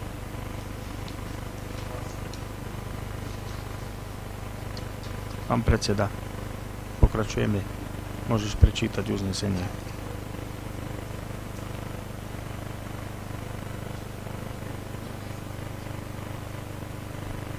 Dávam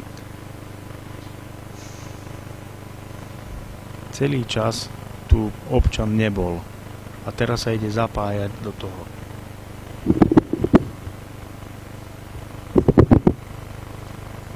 Dobre, podľa rokovacieho poriadku by som mal dať hlasovať o tom, či môže dotyčný občan, ktorý sa hlási, vstúpiť do tohto rozhovoru. Takže dávam hlasovať. Kto je za? 1, 2, 3, 4, 5, 6. Takže nadpolovičná väčšina je za. Kto je proti? Zdržal sa niekto hlasovania? Jeden je proti. Jeden sa zdržal.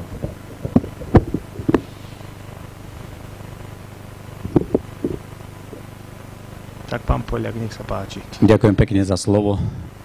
Pán starosta, podľa rokovacieho poriadku nie je potrebné dať o tom hlasovať. To sa nemusíme o tom debatovať. Ja len na pripomienku, keď zase robíme divadlo zbytočne. Uh, chcel by som uh, povedať uh, jednu dôležitú vec. Hovoril som to tu asi tak 25 krát. Mnohokrát tu sedela aj pani Trnková, počas toho, keď som bol ako poslancom a poukazoval na to. Vážení poslanci, treba si uvedomiť jednu vec. Treba dať jasný signál tomu. Tu výrazne a jasne a zásadne pochybil obecný úrad. Obecný úrad či už akoukoľvek formou vám pripravil to uznesenie, ale obecný úrad bol kompletne zodpovedný za celú prípravu kúpno-predajnej zmluvy, na pravdepodobne máme hrdoplateného obecného právnika pána Holého, ktorý všetky zmluvy parafuje a kontroluje. Takže v tomto prípade výrazne pochybil obecný úrad. A je tu ešte ďalšia vec. Obecný úrad e, bol vyzvaný, aj keď na úpravu len nejakých slovíčok v dodatku, ale obecný úrad mal zase tú možnosť urobiť celú nápravu a obecnému úradu prišiel aj výpis katastra. Takže e, treba si uvedomiť a treba, a ja by som chcel apelovať na poslancov, dať jasný signál. Aj keď teraz zase tu je, tu je niečo, tu je nejaký výkrik, že treba zachrániť bytový dom, lebo je tam nejaká blomba. Hej? Ale jednoducho, ak chcete zachrániť bytový dom, tak sa odvážte k činu a príjmite rozpočtové opatrenie, hneď stiahnite mzdové náklady od dvoch zamestnancov, ktorí nesú zodpovednosť. Takisto stiahnite položku na právnika, ktorý nesie zodpovednosť za túto zmluvu. Je to vec dôležitá, zásadná a ja vám garantujem to, že toto nie je jediná vec, jediná vec majetková, kde má obec veľký prúser. Takže toto je podstatné a dôležité. A takisto by som chcel poprosiť, eh, pán starosta, keď sa budem ďalej hlásiť jednotlivým bodom, nerobme zbytočné divadlo. Ďakujem za skvelý príhovor. Môžeme pristúpiť k hlasovaniu.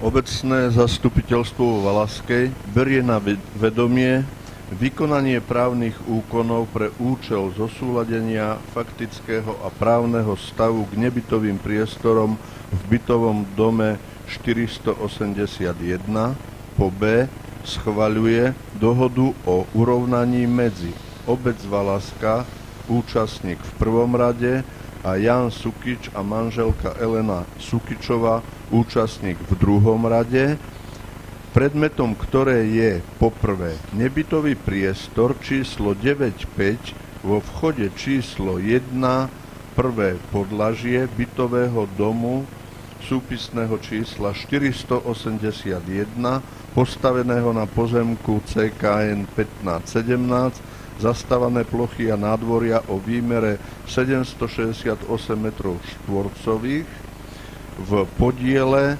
4800 lomené 229 033, ktorý nadobúdajú účastníci v druhom rade v režime bezpodielového spoluvlastníctva manželov. Po druhé, nebytový priestor číslo 96 vo vchode číslo 1 prvé podlažie bytového domu súpisné číslo 481 postaveného na pozemku CKN 1517, zastavené plochy a nádvoria o výmere 768 m štvorcových vo veľkosti 7475 lomené 229 033, ktorý nadobúda účastník v prvom rade za podmienky, že v súlade občianského zákonníka v platnom znení uzatvárajú účastníci túto dohodu, ktorej predmet a obsah v nej poňatý budú považovať za vzájomnú, úplnú a konečnú dohodu zmluvných strán, že žiadna zo zmluvných strán si nebude uplatňovať voči druhej zmluvnej strane do budúcnosti žiadne ďalšie nároky alebo plnenia z ich vzájomných záväzkov, v ktorých bola ich spornosť, respektíve pochybnosť vo vzťahu k predmetu dohody. Po C poveruje obecný úrad zabezpečením potrebnej právnej a ekonomickej záležitosti podľa schvalovacej časti uznesenia. Ďakujem, dávam hlasovať za toto uznesenie. Kto je za, nech zdvihne ruku. Je niekto proti? Čiže 7 je za, 2 sú proti, zdržal sa hlasovania nik. Čiže uznesenie bolo prijaté. Ďalej nasleduje bod 7.2, odpredaj pozemkov pod garážmi. To je niekoľko uznesení. Navrhujem, aby boli všetky naraz schválené. Pani Pastýrová. Ja sa pýtam, e, sú správne výmery v tých uzneseniach?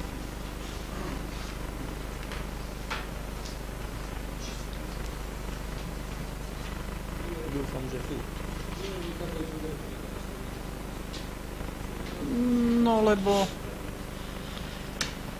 aby sme potom niečo zase neopravovali. Ďakujem.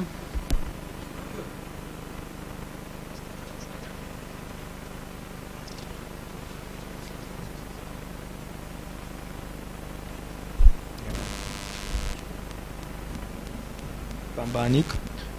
Ďakujem za slovo. Problematikou odpredaja pozemkov pod garážami sa pravidelne naša komisia stavebná zaoberá na podstate každom sedení. Takisto sa danou problematikou zaoberáme aj na finančnej komisii. Ja by som len chcel pripomenúť, že v týchto uzneseniach sú aj jednotlivé časti, ktoré nám rušia už prijaté uznesenia, ktoré boli v predchádzajúcich rokoch. E, v prvom navrhovanom uznesení sa ruší uznesenie 373 z 2014 zo dňa 39.2014. To znamená, že bolo prijaté uznesenie v roku 2014, dneska máme rok 2018 a za 4 roky sme nedokázali vlastne vyrobiť kupno-predajnú zmluvu na odpredaj tohto pozemku. Danou problematikou sme sa zaoberali aj na stavebnej komisii a takisto sme to dali do zápisu, aby došlo k náprave v budúcich obdobiach. Takisto o, ďalšie navrhované uznesenie je 362 2016. Takisto sa musí zrušiť z toho dôvodu, že tam bola zlá výmera plochy a toto uznesenie bolo schválené.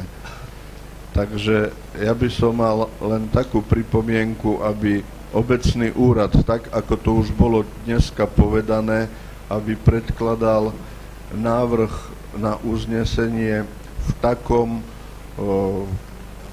predložení, aby to bolo zhodné so skutočným stavom a aby to bolo overené. Ďakujem. Ďakujem. Pán Magera. Ďakujem pekne za udelenie slova, len by som eh, chcel uzrejmiť, ja som sa pýtal pani hlavnej kontrolórky, lebo jeden z tých pozemkov sa týka aj poslanca obecného zastupiteľstva, tam by mal byť prijatý osobitný zreteľ. Tak, aby sme predtým... Nemusí?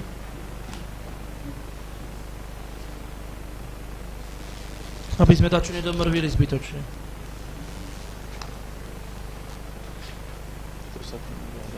Však rušíme raz, môžeme dva razy. Lebo povedali ste, že chceme to naraz uh, prijať teda, aby nenastala nejaká zbytočná komplikácia, aby sme zase nemuseli hlasovať. Myslím si, že hej. Či nie sa to pozrie? Neviem, či sa ešte... Lebo ja som s tým, že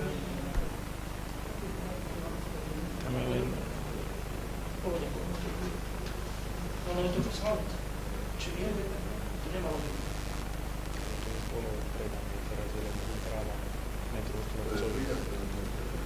To je v poriadku, to je na to, že sa nedá.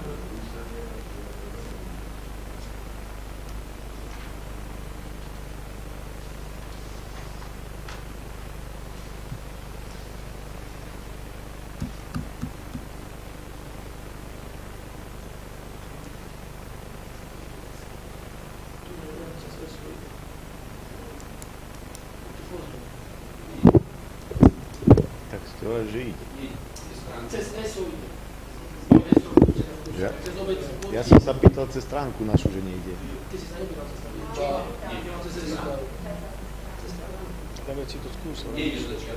No ja som sa pýtal, že ide. Mňa upozornili viacerí občania, že nemôžu pozerať prenos, lebo na stránke obce je uvedený link, ktorý má názov, otvorte si stránku obce Pán Bánik, a na stránke obce Valaska je link. Pán Poliak, nikto vám neudelil prenos. slovo.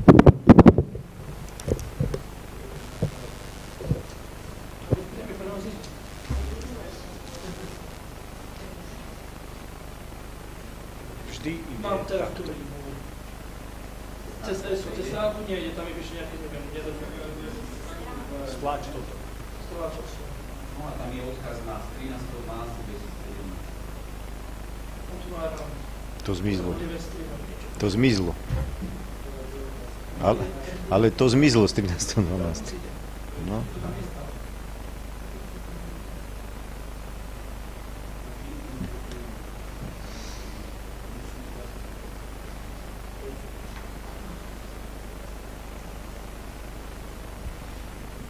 Dobre, a teraz ten podstatný, čo to celé bude.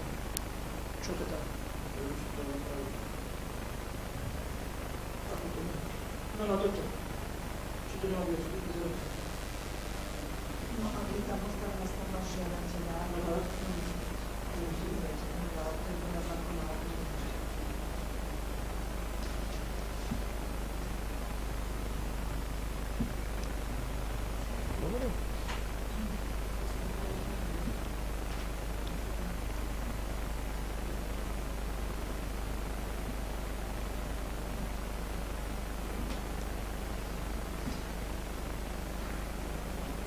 Cez ESO ide, cez stránku.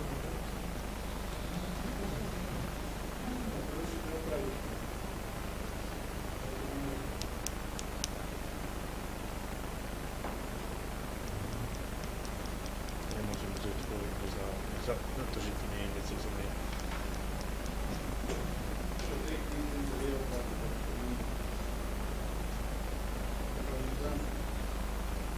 No, e, idem sa na to pozrieť. Vyhlasujem 10 minútovú prestávku.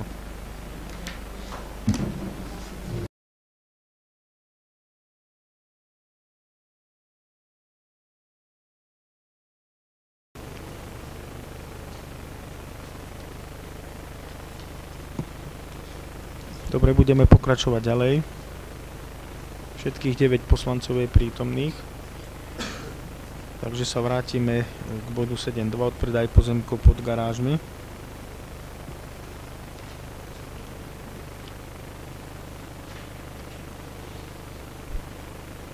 Pán predseda.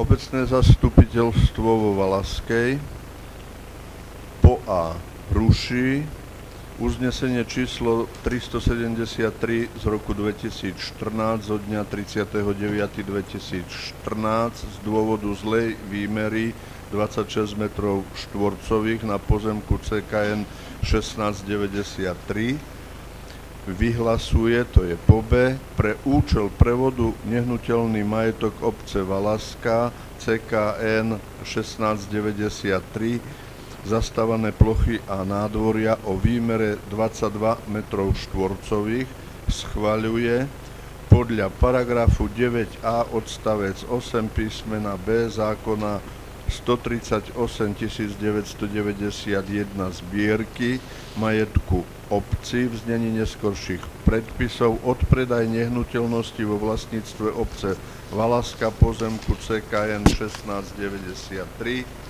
zastávané plochy a nádvoria o výmere 22 metrov štvorcových, cena 7 eur za meter štvorcových. Pre žiadateľa Zdeno, Zdenko Oravec a po D poveruje obecný úrad zabezpečiť uzatvorenie kúpnej zmluvy podľa schvaľovacej časti uznesenia. Ďalšie uznesenie, prečítam to v stručnosti, ale takisto, že bude ruši, vyhlasuje, schvaľuje a poveruje. Ruši uznesenie 362 z 2016 zo dňa 21.9.2016 z dôvodu zlej výmery 18 metrov štvorcových CKN 1705 vyhlasuje pre účel prevodu nehnuteľný majetok obce Valaska 22 metrov štvorcových, schvaľuje e, predaj zastávané plochy a nádvoria o výmere 22 metrov štvorcových pre žiadateľa Marian Žabka a manželka Márie Žabková. Poveruje obecný úrad. Ďalšie uznesenie vyhlasuje pre účel prevodu nehnuteľný majetok CKN 1706 22 metrov štvorcových schvaľuje predaj kupná cena taká istá 7 eur za meter štvorcový pre žiadateľa Martin Medveď a manželka Mária Medveďová poveruje obecný úrad. Ďalšie uznesenie e, vyhlasuje pre účel prevodu nehnuteľný majetok na CKN 1694 22 metrov štvorcových schvaľuje predaj 22 metrov štvorcových 7 eur za meter štvorcový pre žiadateľa Anna Komárová poveruje obecný úrad. Ďalšie uznesenie vyhlasuje e, pre účel prevodu nehnuteľný majetok CKN 1480 3 22 metrov štvorcových, schvaľuje predaj CKN 1483 o výmere 22 metrov štvorcových, cena 7 eur za meter štvorcový, pre žiadateľa Mária Fašková a poveruje obecný úrad zabezpečiť uzatvorenie kupnej zmluvy. To sú uznesenia, ktoré súvisia s rušením jednotlivých uznesení a s predajom pozemkov pod garážou. Ďakujem. Takže dávam hlasovať za uznesenia číslo 595 až 599.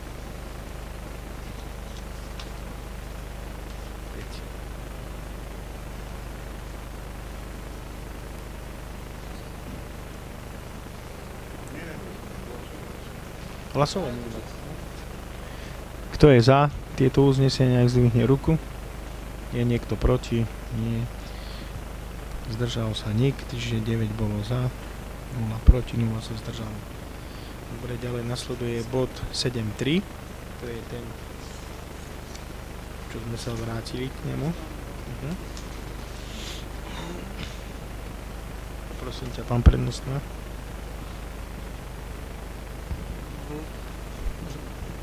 Vlastne to nadvezuje na e, schválenie osobit, osobitného zreteľa, nakoľko ide o priamy predaj konkrétnym e, záujemcom. E,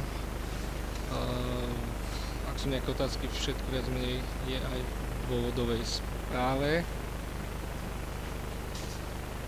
Že ide už o schválenie priamo zatvorenia kúpnej zmluvy na, na ten nehnuteľný majetok, tak ako je uvedený vo výrokovej časti uznesenia, návrhu uznesenia.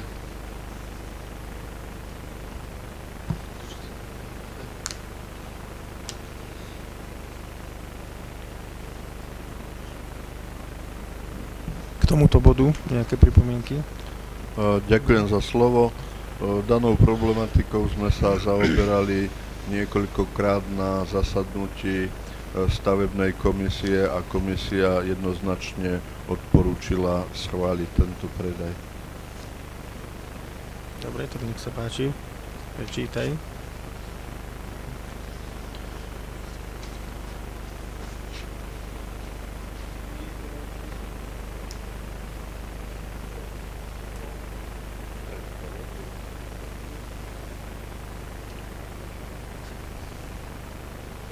čítať? Obecné zastupiteľstvo vo Valaskej prerokovalo predaj majetku obce z, ho, z dôvodov hodných osobitného zreteľa, paragraf 9a odstavec 8 písmena E zákona 13891 parcela CKN 1826 o výmere 133 metrov štvorcových, druh pozemku záhrada vo vlastníctve obce Valaska zapísaného na LV 980 po B schvaľuje e, predaj e, nehnuteľného majetku obce Valaska CKN 1826 o výmere 133 metrov štvorcových zapísanej na LV 980 druh pozemku záhrada vo vlastníctve obce Valaska do, bezpo, do podielového spoluvlastníctva Kováčikova Mária, Kováčik Miroslav, Jurošova Mária,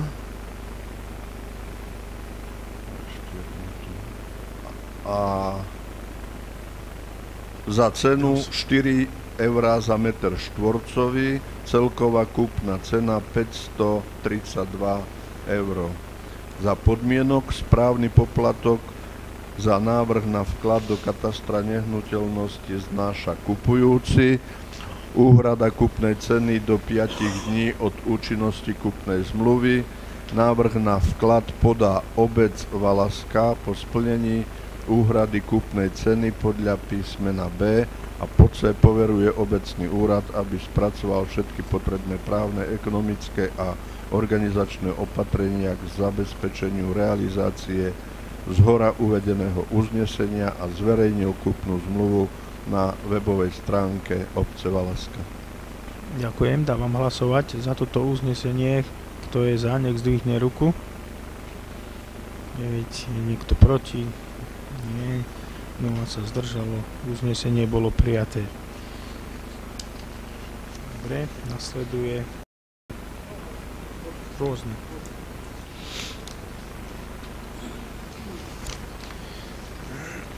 A tam máme všeobecné záväzné nariadenie o poskytovaní dotácií z rozpočtu obce Valaska.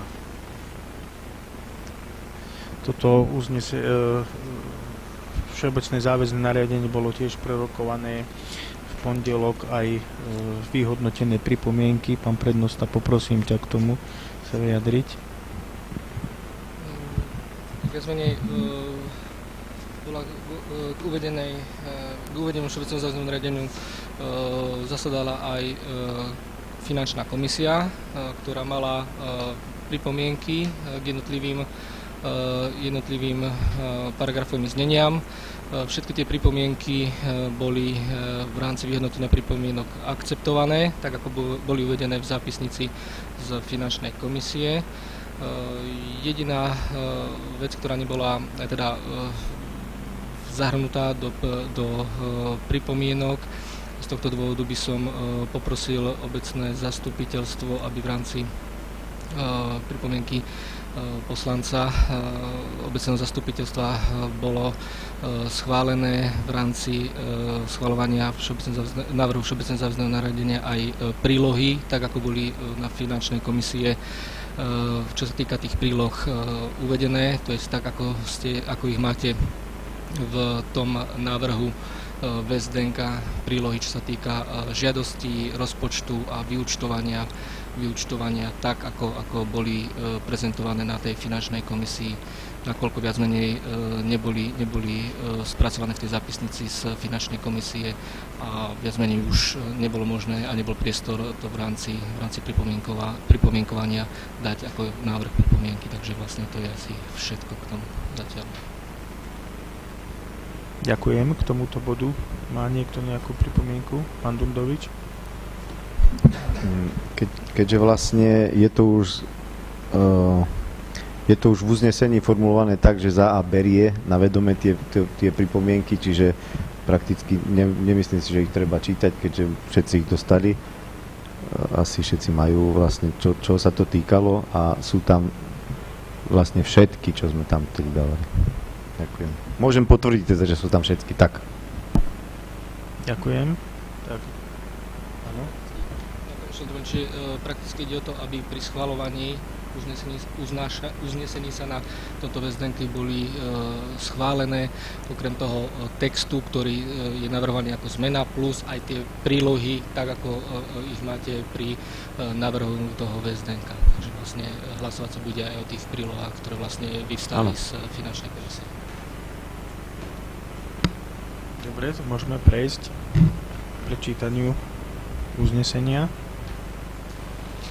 Obecné zastupiteľstvo Valaskej berie na vedomie, vyhodnotenie pripomienkového konania k návrhu Všeobecno záväzného nariadenia obce Valaska číslo 1 lomené 2018 o poskytovaní dotácií z rozpočtu obce Valaska a pripomienky z finančnej komisie zapracovalo do všeobecno záväzného nariadenia o poskytovaní dotácií z rozpočtu obce Valaska. Po B. Uznáša sa v zmysle paragrafu 6 odstavec 1 a paragrafu 11 odstavec 4 písmena G zákona 369 o obecnom zriadení. O, na všeobecno záväznom nariadení obce Valaska číslo 1 lomené 2018 o poskytovaní dotácií z rozpočtu obce Valaska a ruší sa všeobecno záväzné nariadenie obce Valaska číslo 2 lomené 2009 a číslo 2 lomené 2015 o poskytovaní dotácií, návratných finančných výpomocí a platení členských príspevkov. Prosím, aby e, do tej výrokovej časti k uznášaniu bolo spomenuté aj, že sa vlastne e, schvalujú aj tie prílohy, prílohy k tomu VSDN, tak ako ich máte v e, návrhu. Hej, čiže aby aj to bolo vo výrokovej časti. Tak Ako ja pripo- potom navrhujem to Bčko rozdeliť, že uznáš, nie, potom urobiť Cčko, že Áno, urobiť Cčko, že schvaľuje pripomienky finančnej komisie, ktoré boli e, podané v rámci pripomienkového konania k VZN. Dobre, dávam hlasovať za takéto uznesenie. Kto je za, nech zdvihne ruku. Je niekto proti? Nik, zdržal sa nik, čiže 9 za, 0 proti, 0 sa zdržalo. Nasleduje bod 8.2, zverenie do správy technickým službám Valaska, pracovný stroj GLR 190.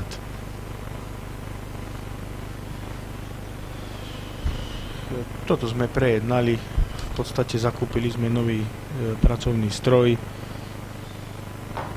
Pán pre, predseda, poprosím ťa, aby si prečítal. Obecné zastupiteľstvo vo Valaskej schvaľuje mm, zverenie hnutelného majetku Šmikovi nakladač GLR 190 do správy technických služieb po B poveruje obecný úrad, aby vypracoval všetky potrebné úkony v súčinnosti s technickými službami Valaska podľa schvaľovacej časti tohto uznesenia. Dávam hlasovať za toto uznesenie, kto je za, nech zdvihne ruku. Je niekto proti? Nie. Zdržal sa? Nie. Ďakujem. Nasleduje bod e, 8.3, doplnený. Zmena, doplniť zmenu člena e, do hlásnika.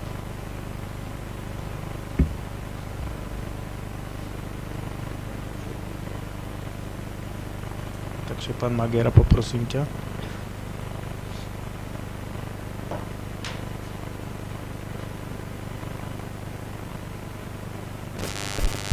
Ďakujem pekne za udelenie slova.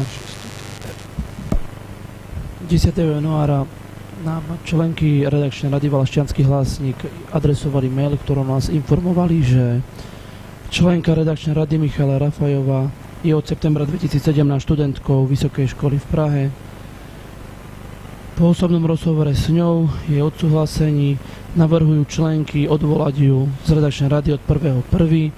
a zároveň navrhujú menovať novú členku redakčnej rady pani Žanet Nitkovú. Ja som im z pozície túto starostu odpísal, že ďakujeme za podanú informáciu. Poslanecký zbor sa bude vašou požiadavkou zaoberať na najbližšom zasadnutí pracovnom. Čo sa týka odvolania následného vymenovania novej členky, vás informujeme, že najbližšie zasadanie bude 14.2. Vaše žiadosti od 1.1. nevieme vyhovieť, ale po zasadaní zastupiteľstva, kladnom rozhodnutí v mesiaci február následnom podpísaní starostom obce už áno. Čiže navrhujem návrh uznesenia nasledovný. Odvolať členku redakčnej rady Volašťanský hlasník Michala Rafajova a voliť nového člena redakčnej rady Volašťanský hlasník Žana Nitkovú. Chce sa niekto vyjadriť ku tomuto bodu? Pokiaľ nie, tak navrhujem, aby sme rovno hlasovali. Peter, poprosím ťa, prečítaj uznesenie. Obecné zastupiteľstvo vo Valaskej po A odvoláva člena valaštianského vlastníka Michaela Rafajova na vlastnú žiadosť, po B volí člena valaštianského vlastníka e, Žaneta Nitkova. A tam sa dopíšu tie údaje, no. ktoré sa nemusia nič. Dobre, ďakujem. Kto je za? Nech zdvihne ruku. Nie niekto proti. Nie. Zdržal sa hlasovania. Nie. Dobre, nasleduje bod číslo 9, interpelácie. Nech sa páči.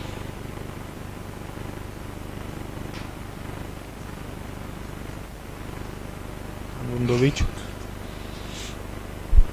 Mm, ja sa ťa pýtam, pán starosta, prečo neodpovedáš občanom, keď e, príde na obecný úrad nejaká požiadavka alebo nejaká teda otázka. E, a konkrétne, tak myslím teraz momentálne pani Bachratu, ktorá mi už hovorila, že už sa dvakrát niečo pýtala, ale nikdy nedostala uh, ani v žiadnej lote proste odpoveď, čiže pýtam sa, prečo sa neodpovedá.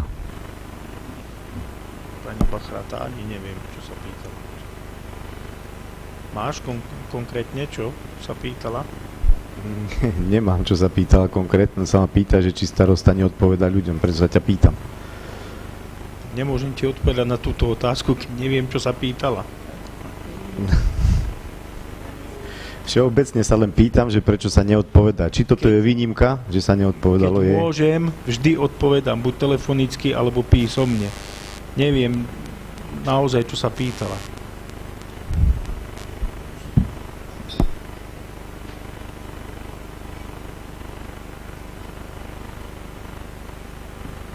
Ďalej. Otázočky. Pani Pastírová. Pán starosta, ja sa ťa pýtam, že kedy bude začaté s prácami na ceste pod hrbom? E, Cesta pod hrbom sa pomaly váľa ďalej a ďalej a nič sa nekoná, pretože e, vedelo by sa to vyriešiť, keby sa chcelo.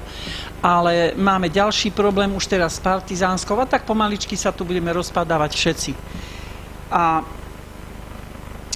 pýtam sa, nakoľko na pracovnom sme hovorili aj o tom a sám pán doktor Piliar na to poukázal, že prečo Valbyt nevymáhal dlžoby a e, tam sú už neskutočné sumy, hlavne na tej Hronskej 22 sú tam veľké dlžoby že prečo nebolo vymáhané.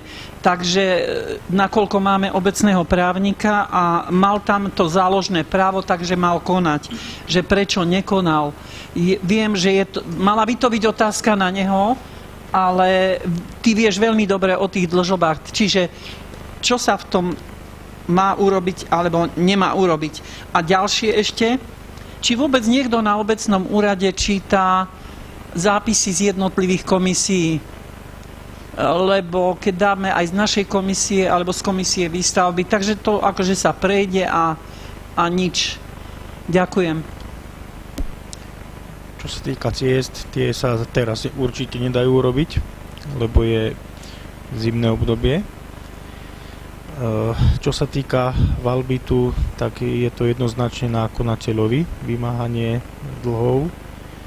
A tá posledná otázka, tak ja ich čítam, ale neviem, čo by som mal k tomu odpovedať, lebo keď sa to či, e, týka obecného úradu, tak e, väčšinou zapracujeme do činnosti jednotlivým referentom to, čo treba vybaviť. E, k tomu len takú malú poznámku si dovolím povedať. Pre tú cestu hovorím preto nie, aby sa už teraz opravovala, ale majetkoprávne sa by mohla, mohla vysporiadať počas zimy. A na jar budeme robiť. Ďakujem. Ďakujem. Ešte sú nejaké otázky? Pán Bánik. Ďakujem za slovo. Ja sa chcem opýtať starostu obce, prečo nemáme vo videu záznam zo zasadnutia obecného zastupiteľstva z decembra z roku 2017. Máme z celého roku. Záznam z decembra 2017 nie je vo videogalérii. Tak, ten záznam nám nerobil pán Sliacký, robil nám nejaký iný pán. Aha.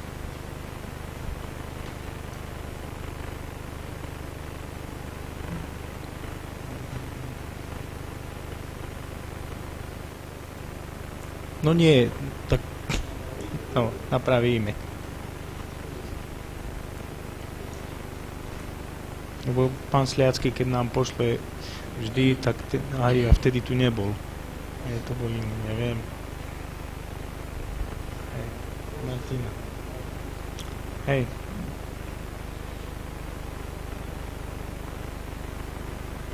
Pán Dundovič. Hm, ja na základe tohto sa teda chcem spýtať, na základe čoho sa potom robila tá zápisnica, ktorá e, z, toho minulého rokovania, lebo niektoré veci, ktoré som si ale pozrel, nečítal som to celé a na niektoré som bol poukázaný, neboli tam niektoré veci, ktoré tam odzneli, boli tam de, facto účelové veci, ktoré boli. A jedna vec, ktorá súvisla priamo so mnou, ktorá tam bola, ja všade, kde chodím, ja som potom hneď, keď som si to prečítal, volal aj pána Vaša dolu, tak kde chodím, tak ja vyzdvihujem, ako čistia oni ulice a, a od snehu a nakoniec zápisnici, že ja mám pripomienky k tomu, ako sa, ako sa sype, čiže hneď som si akože sám sebe neviem, čo tam mal urobiť. A ak si pozriete ten záznam, ja som tam povedal, že budem citovať pani zo Starého Láskej, ktorá toto odkazuje pánu starostovi, nie ja. Ja som citoval tú pani, že tá pani sa stiažuje na to, že sa nemôže dostať na roráty. Ak si to tak dobre pamätáte, ja si to pamätám dobre. A, na, a následne v zápisnici ja vidím, že pán Dundovič má pripomienky k tomu, že sa tu zle e, odpratuje, čo nie je pravda, lebo ja všade, kde chodím, tvrdím stále, keďže poznám túto obec, ako je odprataná, že po iné obce vyzerajú oveľa, oveľa horšie, čiže stále ich vlastne de facto chválim, len preto sa pýtam, z čoho tá zápisnica je robená, keďže sú tam, e, nie vždy je tam to, čo tam malo byť, si myslím. A keďže nie je ani na záznam, nikde nie je záznam, tak preto sa pýtam, že z čoho je tá zápisnica robená. No, tak nie je zverejnený zrejme ten záznam, no, no ani nemôže byť v tomto. Lebo ja potom vyzerám, vieš, ja ich chválim, im poviem a nakoniec zápisnicu si chlapi prečítajú, čo sme sa aj s Martinom rozprávali a hneď som tam bol za debila, a ten, čo tam rozpráva, keď tam povie toto. A keď by sme si pozreli ten záznam, tak je to myslené citácia tej pani, ktorá sa tam dotazovala toho, že sa nemôže dostať hore tými schodíkmi, lebo sa jej šmíka. No. Čiže by som poprosil, keď sa tie zápisnice robili takú s prihľadnutím na to, že, že čo sa povie tak pravdivo, hej? No, ďakujem. Dobre, ďakujem.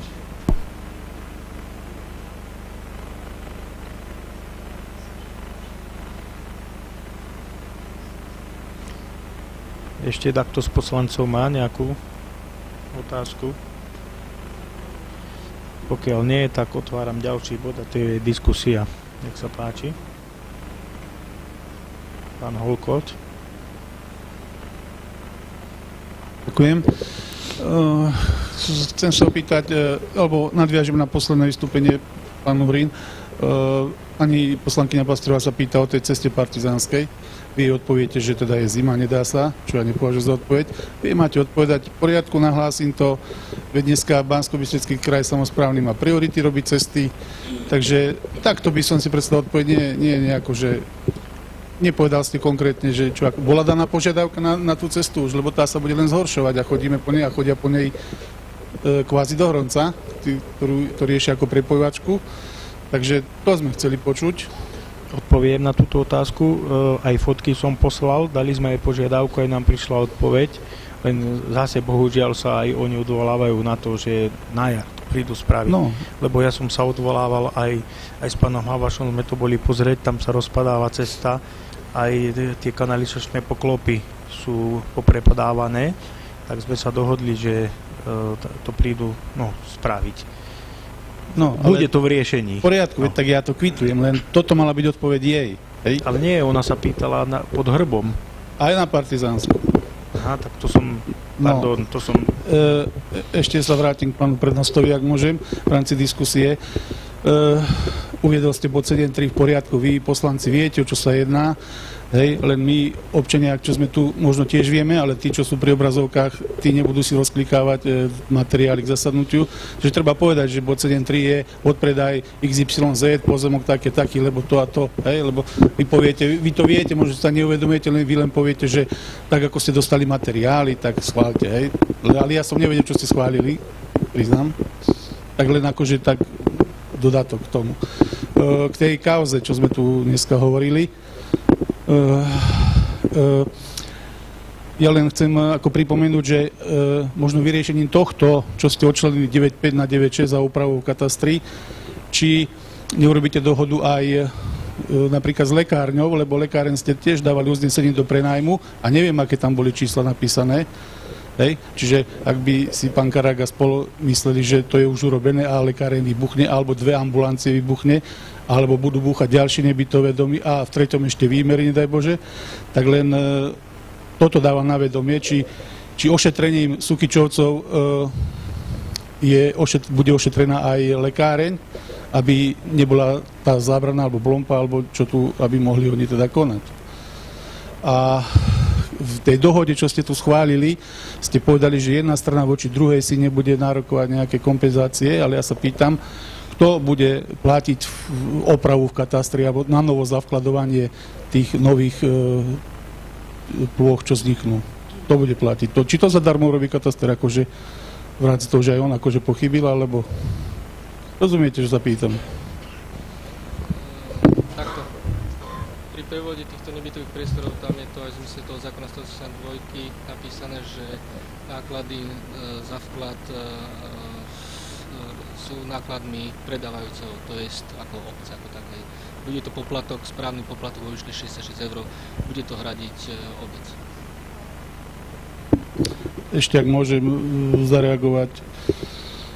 Stále mi jej do hlavy, reagujem teraz na pani hlavnú kontrolórku, e, na ako osobu, ktorú ste si vy, pani poslanci, zvolili za svojho zástupcu pri vykonaní kontrolnej činnosti, kde ona tu argumentuje alebo sa odvoláva na nejaký paragraf, že nemôže vyčísliť škodu. Predsa, ak vy dáte niečo preskúmať, máte nejakú vedomosť, podozrenie alebo niečo podobné, ona zhodnotí skutkový stav, ale škodu, škodu vyčísliť nemôže. Tak ja, sa pýtam, či, kto potom pani kontrolka môže vyčísliť škodu? Ako sa tí poslanci dozvedia, my občania, aká škoda vznikla, buď z takého alebo nejakého titulu, keď vy ako hlavný kontrolór ju nemôžete vyčísliť. Váš predchodca, hovorím teraz o tom vami predloženom, navrhnutom, zavrhnutom uznesení 435, o škode, ktorá vznikla od predajom pozemkov. Váš predchodca nemal s tým absolútnym problém, natvrdo povedal, k takémuto dátumu je takáto suma. Nik s tým nemal problém. Vy nemôžete, alebo nechcete. Aj ste zmenila, dala ste návrh na uznesenie, že sa bude ušetrovať teraz len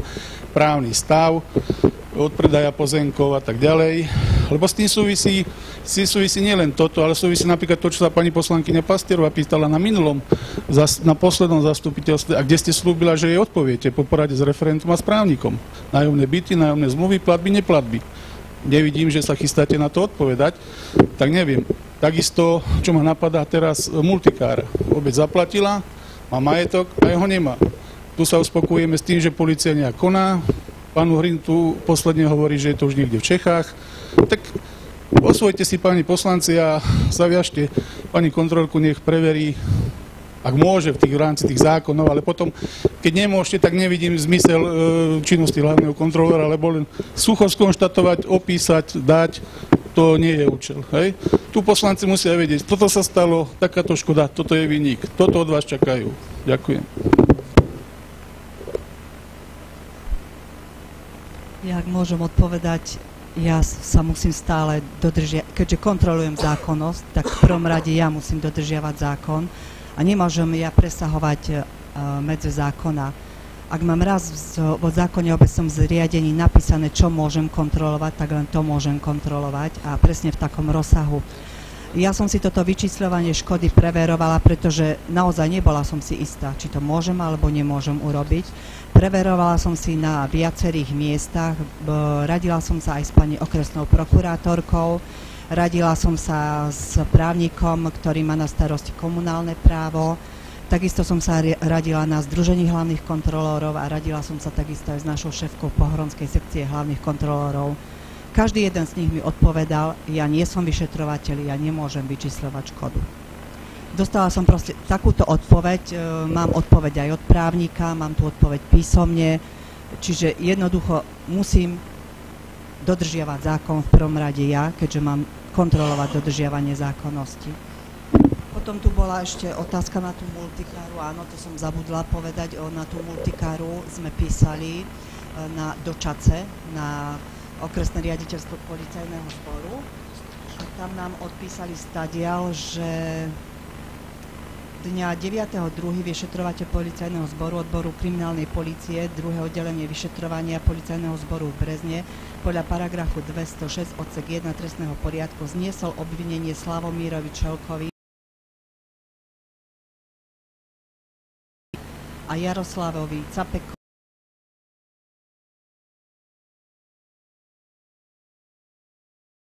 Za prečin podvodu spolupachateľstva podľa paragrafu 20k, paragrafu 21, odsek 1, odsek 2 trestného zákona spáchaní, ktorého uviedli pri kúpe vozidla Multicar M26 4x4 zástupcu obce Valaska inžiniera Juraja Uhrina do omilu a seba na úkor obce Valaska obohatili o sumu 6 tisíc eur.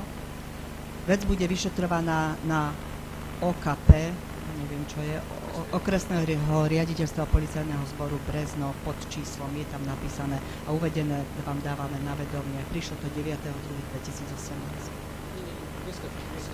Dneska?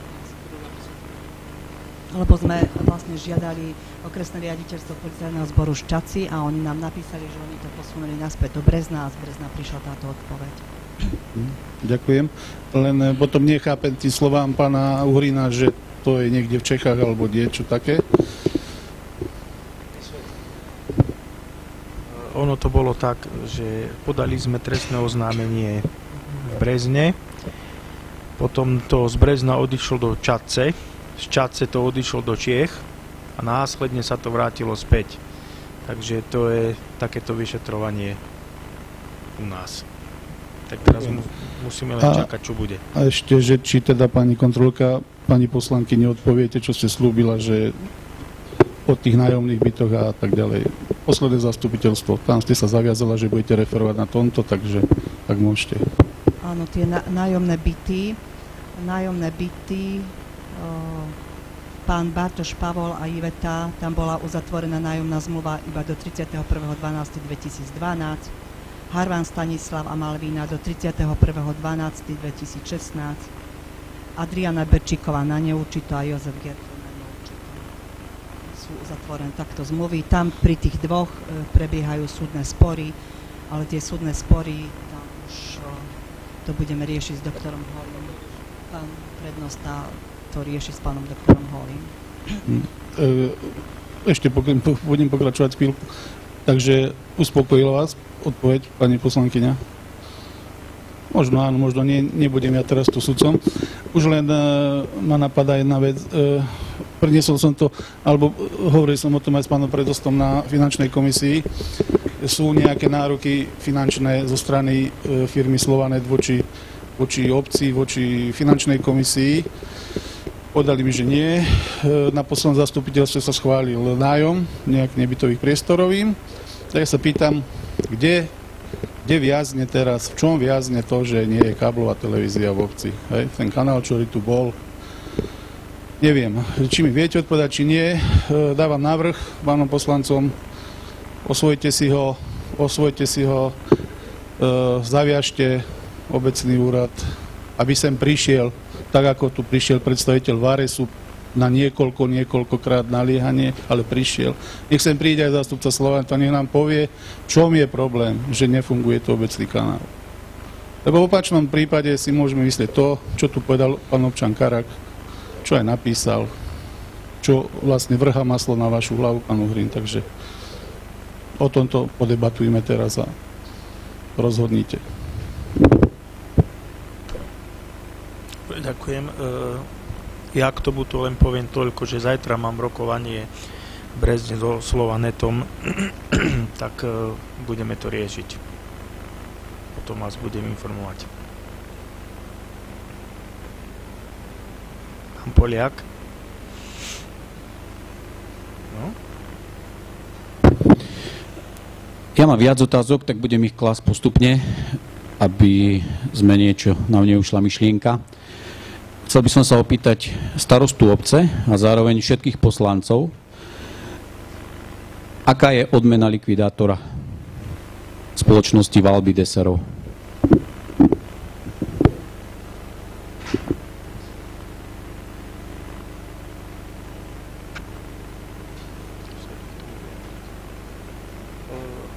On má stanovenú hodinovú sadzbu. 50 eur. 60 eur na hodinu. Čiže, e, čiže keď likvidátor e, vykaže konkrétne napríklad 500 hodín za pol roka, čo je reálne, čo sa tomu venuje, hej, 500 e, hodín, laicky krát 60, to je parádna suma. Hej, či ste vy počítali niekedy poslanci, alebo či viete o tom, že tá suma likvidátora môže byť v 10 tisícoch. Ja si myslím, že to bude reálne okolo, eh, keď to tak eh, sumu ponížim, tak okolo 30 tisíc eur zoberie likvidátor za likvidáciu Valby Desero. Či o tom poslanci vedia? Nebudem sa k tomu vyjadrovať podrobne, lebo e, nesedí tam od rána do večera každý deň. A to, čo si ty myslíš, to je myslím, že nie je podstatné pre nás všetkých. Uvidíme s čím. Jednoducho eh, poslanci alebo poslanci, trvali sme na tom, aby sme Valbit zrušili. A jednoducho za každú prácu je nejaká odmena. On má takúto taxu vyhláškou jednak stanovené a upravené. Ďalšia vec, e, e, on nám bude podávať e, správu, teda čo, aké úkony vykonal, v akom časovom slede vykonal a môžem teraz jednoznačne povedať, že to určite nebude suma 30 tisíc. Presne sme obdobne likvidovali jednu spoločnosť, bolo to cca 5 tisíc eur. Tam to sa mi zdalo porovnateľné časov, to vychádza takisto ako, ako to vo Valaske do júna by mal skončiť, čiže viac menej to nebude nič tajné, každopádne on bude e, svoj, e, svoju činnosť vykazovať. E, tá suma samozrejme musí byť v súlade s odmenou advokáta pri tejto činnosti likvidátora, takže viac menej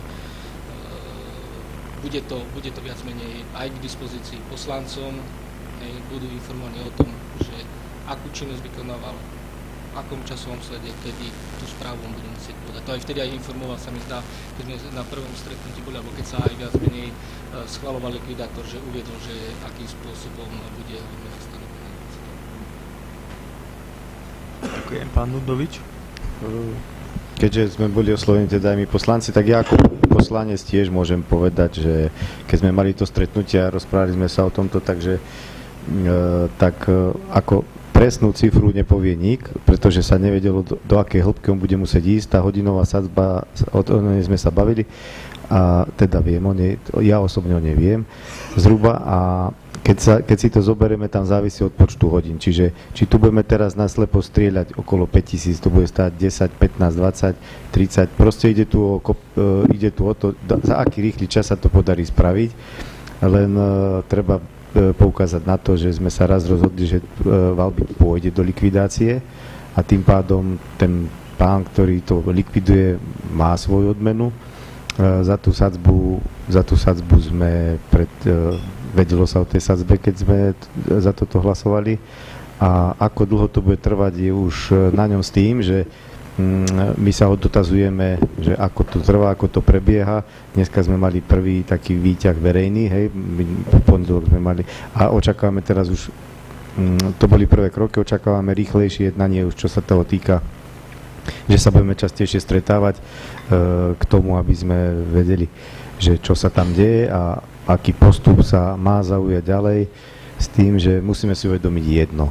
Ten Valbit e, momentálne likvidujeme, bude to obec niečo stáť, len treba si zobrať roky dozadu a zoberme si stále, stále, keď si budeme brať tie ročné uzavierky, z toho Valbitu tie cifry v minusových položkách, hej.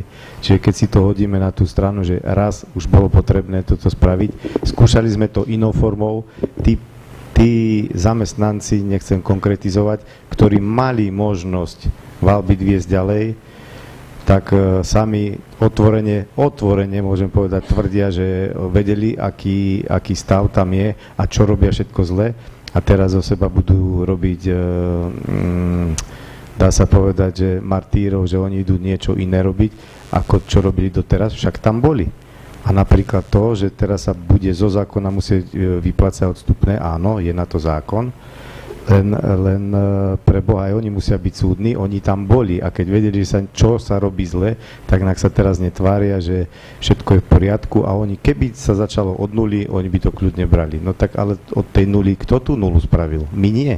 My už riešime len to, čo roky, rokúce sa tu zanedbalo, to už je jedno v tomto prípade z Eštejviny to bolo, malo sa konať, ja si myslím, že sa malo konať skôr a e, bolo by to dopadlo s oveľa menšími stratami ako teraz. Ale opakujem, ja sám za seba viem, že to niečo bude stáť a každý súdny človek, keď niečo takéto robí, si musí uvedomiť, že niečo to bude stáť aj obec, ale raz a navždy treba to, to vlastne skončiť, uťať a začať niekde od znova.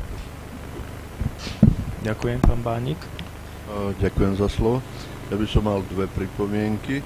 Nadviazal by som na pána Dundoviča, čo sa týka odmena likvidátora. Ja by som len chcel pripomenúť, že poslanci schválili likvidátora, neschváľovali odmenu likvidátorovi.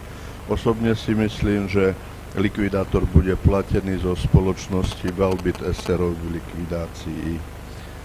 A po druhé, ja by som si osvojil názor pána Holku a navrhujem, aby sme prijali uznesenie, že odporúča starostovi obce vstúpiť do jednania so spoločnosťou e, Slovanet akciová spoločnosť v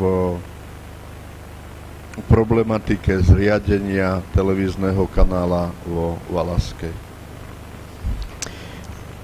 ak by som mohol k tomuto momentálne, stále platí jedno uznesenie, ktoré sme dali na firmu Vares alebo jej nástupníckými organizáciami. Čiže stále platí to uznesenie, to by bolo druhé. Ďalšie teda, lebo to jedno uznesenie, neviem aké číslo, ak ho môžeme prečítať alebo nájsť, je písané, že so firmou Vares alebo jej nástupníckými alebo nástupníckou organizáciou, čiže ja si myslím, že stále to platí. Stále platí uznesenie, ktoré doteraz nie je splnené. Ja som Čiže povedal, nemusíme robiť nové, ja si myslím. Osobne. Že zajtra mám rokovanie so Slovanetom, takže myslím, že keď máme rozpracovanú túto diskusiu v takomto smere, že chceme ten kanál, tak e, ja vás budem o tom informovať. Zajtra budem mať to stretnutie, tak nevidím zmysel prijatia ďalšieho uznesenia toho istého, ktoré bolo prijaté, neviem, kedy prikláňam sa k tvojmu názoru. Ja som to návrh, takže dáš o tom hlasovať a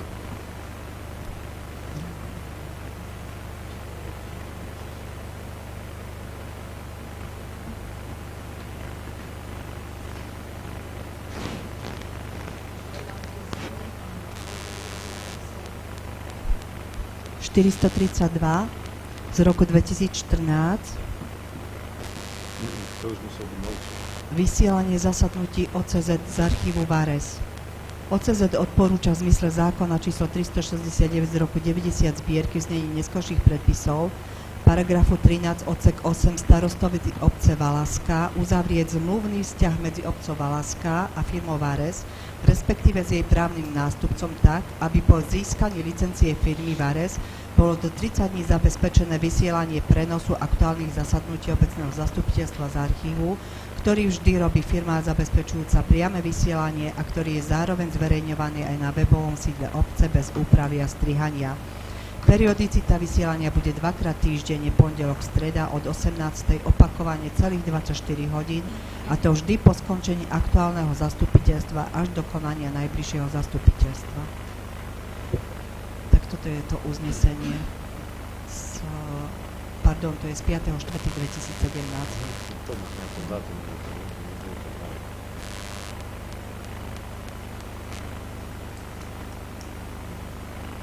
Ja si myslím, že nemá dôvod o tom hlasovať. Pani Pacerová? Ale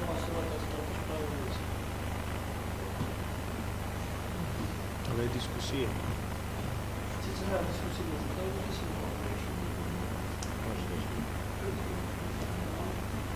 No dobre, e, môžem dať hlasovať o tom, či ste za to, aby sme prijali nové uznesenie. Kto je za? Jeden. Je niekto proti? Zdržal sa hlasovania.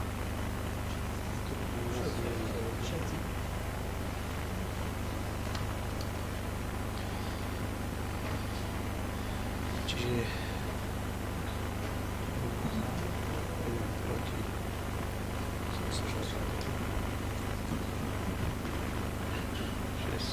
604.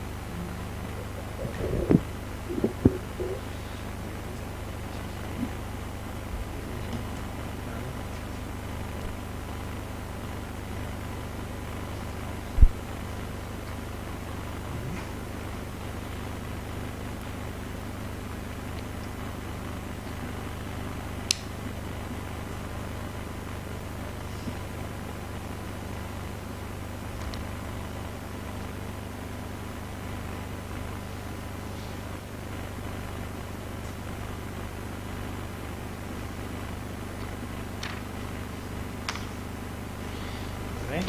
Môžeme pokračovať ďalej, pani Pastierová. Ja by som len takú pripomienku mala, že ako nás informoval likvidátor, že účtovnú uzavierku naša účtovnička na Valbite nevie urobiť. A keď robila doteraz účtovné uzavierky, ako to robila? Tým sa len predraží, tým sa len predraží zase likvidácia. Čiže ak doteraz robila účtovné uzavierky ako účtovnička, ja nevidím dôvod, aby neurobila túto účtov, účtovnú uzavierku. A čo ona bude robiť potom, keď nebude robiť ona účtovnú uzavierku? Prečo sa majú takéto veci predražovať? A ešte chcem druhé povedať, je treba okamžite e, dať vybudovať bezbariérový prístup k doktorke obvodnej. Hovorí o tom aj európska nejaká norma, bezbariérový prístup do takýchto zariadení a e, proste treba sa s tým súrne zaoberať. Máme ľudí na vozíku, máme paličkárov, máme aj zdravý človek, ktorý tam ide, padne mu sneh na hlavu alebo cencuľ. Je to absolútne nevhodný vchod. Ďakujem. Ďakujem. Pán Dundovič. Jak môžem do diskusie, tak by som... Bavili sme sa tu aj o, o tej ďalšej veľkej chybe, čo sa stala ohľadne toho, eh, toho nebytového priestoru. zase sa naráža na fakt, aj ako som spomínal, keď sa to spúšťalo, vy dvaja teda ste tu určite e, neboli, vlastne ty si bola v inej pozícii, hej. Ale stále prichádzame na to, že mm, keď sa jedná o tieto majetkové veci, tak e, dvaja ľudia momentálne, čo to majú na starosti, tam boli aj predtým a sú tam aj teraz. A vždy sú problémy s majetkovými vecami či sa jedná teraz metre štvorcové, či sa tam jedná o tam tie metre štvorcové, či sa jedná o niečo nevypracovanie. Takže bavíme sa stále o rovnakých ľuďoch.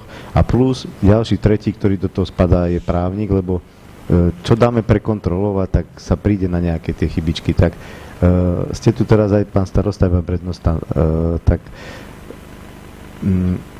vieme my využiť toho právnika, teraz myslím pána Holeho, tak naplno, že čo platíme, robí nám, vy, vy viete, my nevidíme do toho, lebo nikto nám nikdy nič nepovie a pán Holík nám nepríde na zastupiteľstvo nikdy, takže nevieme, že čo robí, že z vášho pohľadu e, sa pýtam teda, že či to, čo robí e, pre obec, e, stojí za to, čo čo sa tam vynakladá. Taký laický pohľad, to, to chcem vedieť, lebo e, ja čo vidíme, tak sú samé problémy, či so zmluvami, či s, e, predtým s nejakými uzneseniami.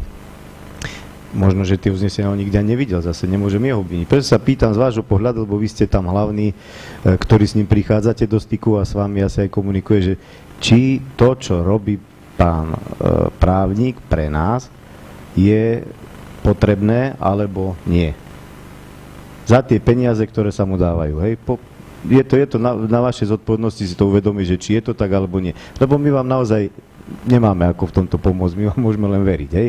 A ďalšia vec je, bavíme sa tu stále o nejakých určitých zamestnancoch, či sa budú aj vyvodzovať nejaké veci, nie len no, no, no na budúce, hej? lebo stále prichádzame hlavne na problém e, s majetkovými vecami a to nie je celý obecný úrad. To sú určití ľudia len. Že či viete vyvodiť také, také osobné dôsledky z toho. Ďakujem. Osobné dôsledky vieme vyvodiť, ale na druhej strane je to presne to isté, čo si ty povedal, že ako ja môžem skontrolovať právnika, či urobil nejakú vec dobre, keď on je právnik.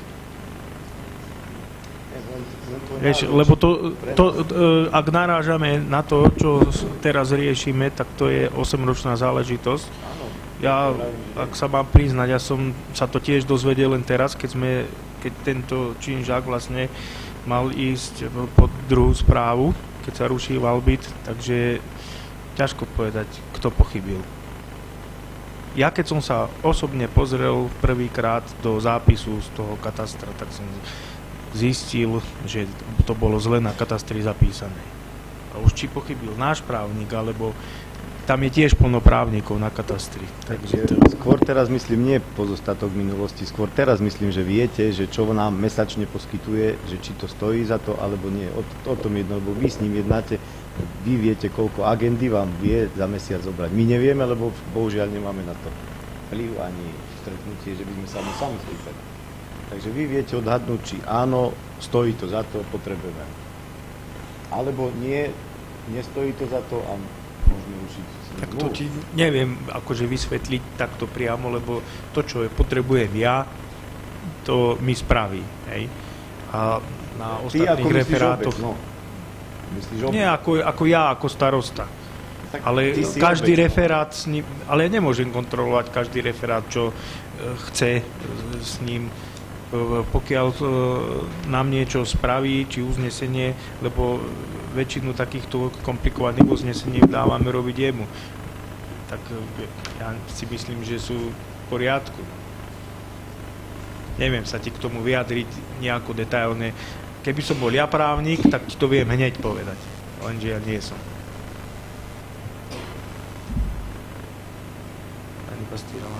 Ďakujem, že ešte raz ani som nechcela, ale tak chcem povedať len toľko, že už len tie nevymáhané dlžoby, tam je veľká chyba, pretože keď sám tu likvidátor povedal, že sa čuduje, že on ako obecný právnik nevyužil záložné právo, tak to je už zle. To je zlý krok, lebo máme tam v liste vlastníctva napísané záložné práva. A keď má niekto záložné právo, my s tým môžeme robiť. A tam je záložné právo zapísané pod číslom 1. To znamená, všetky ostatné pohľadávky ustupujú a ide záložné právo v prvom rade. Čiže toto chcem poukázať, že tu je absolútne absencia jeho práce. Ďakujem. Ešte pán Poliak.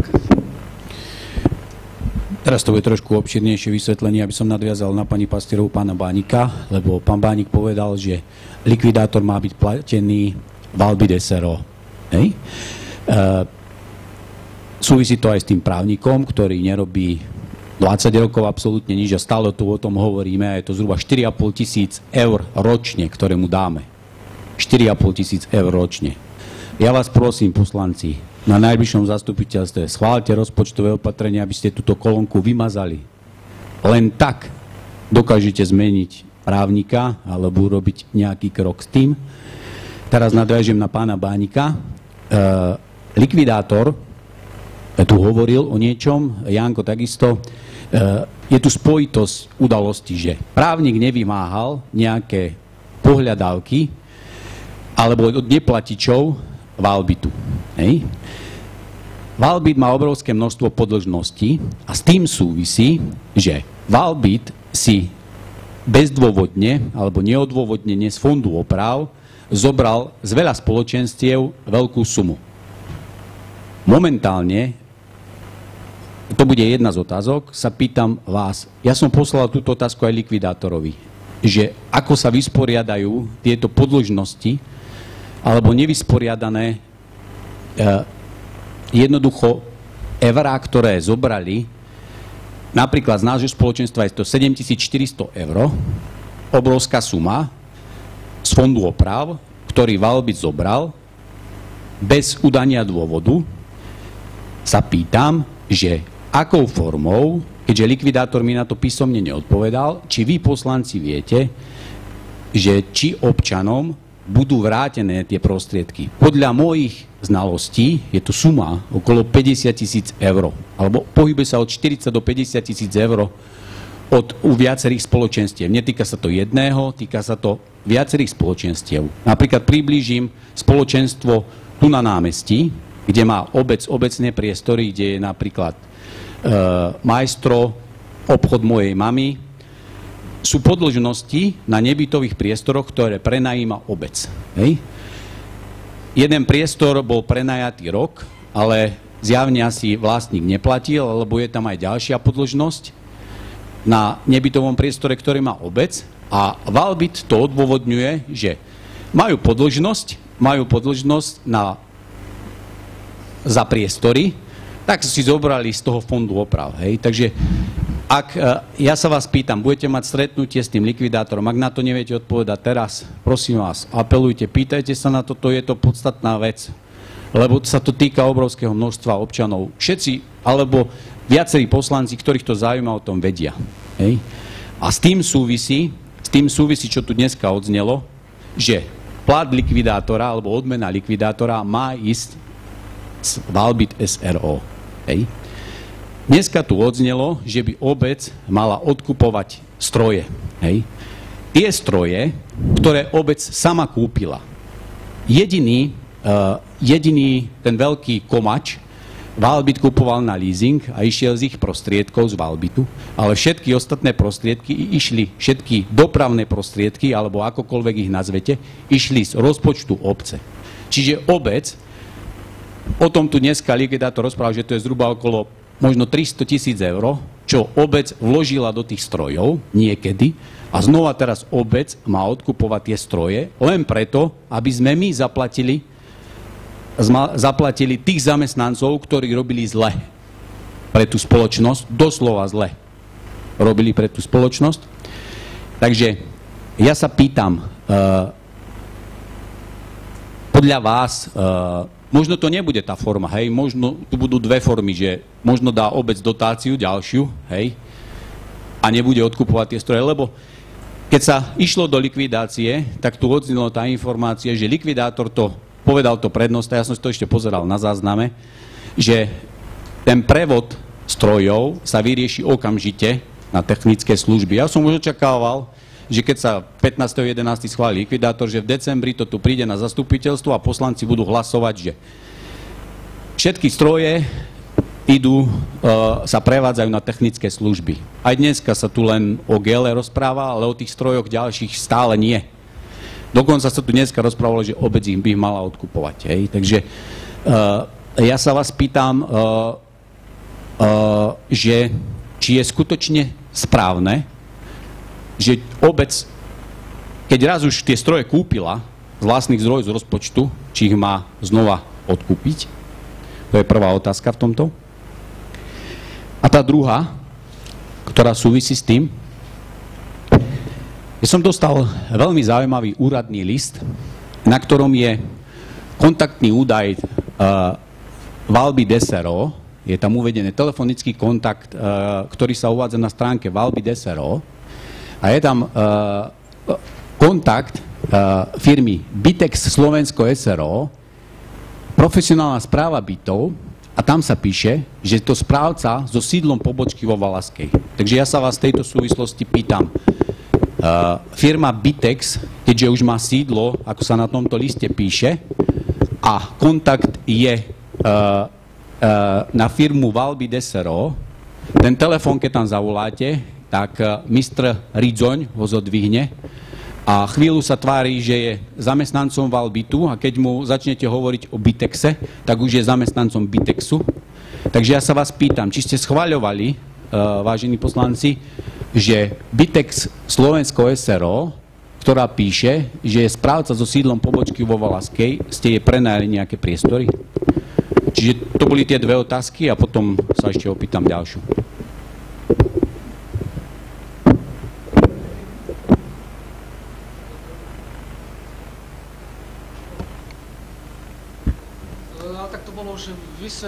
Tak e, na pracovnom stretnutí poslancov, kde viac menej táto informácia bola nová aj pre likvidátora, neviem aká osoba, kto hej, sa za tú, za tú spoločnosť za tú spoločnosť vydáva.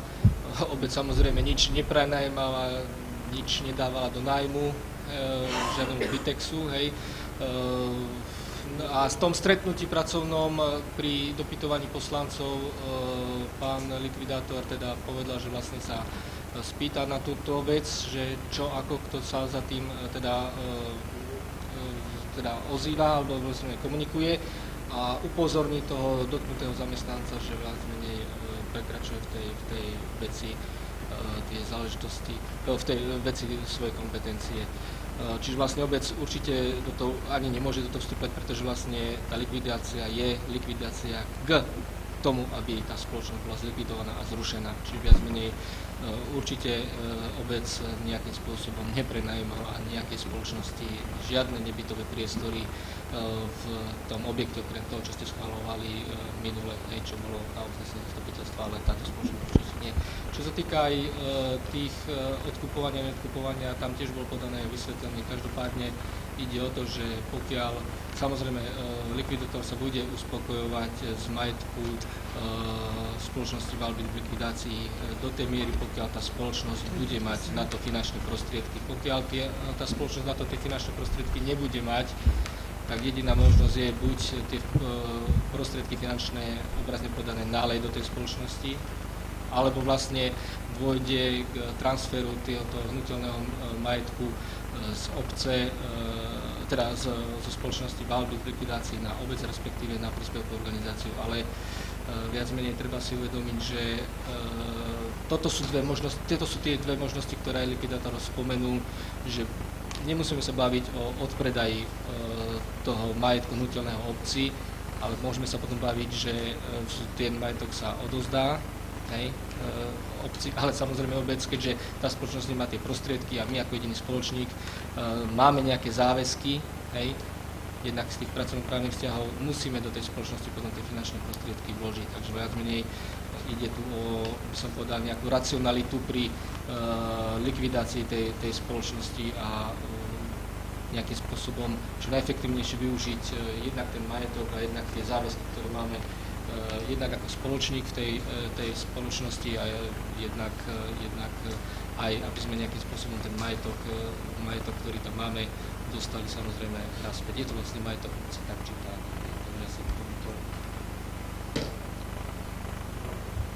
Ja by som len jednu vec ešte chcel k tomuto povedať. Odkiaľ máš ten list? Ako sa k tebe dostal? Som občan tejto obce a vlastník bytu a dostal som túto ponuku poštou. Nenarážam akože na teba. No to je dobré, to je správne, pán starosta, to je dôležité a správne, hej.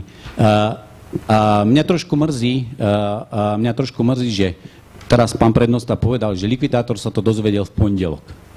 Likvidátorovi som tento list, okamžite ako som ho obdržal, mailom som ho zaslal.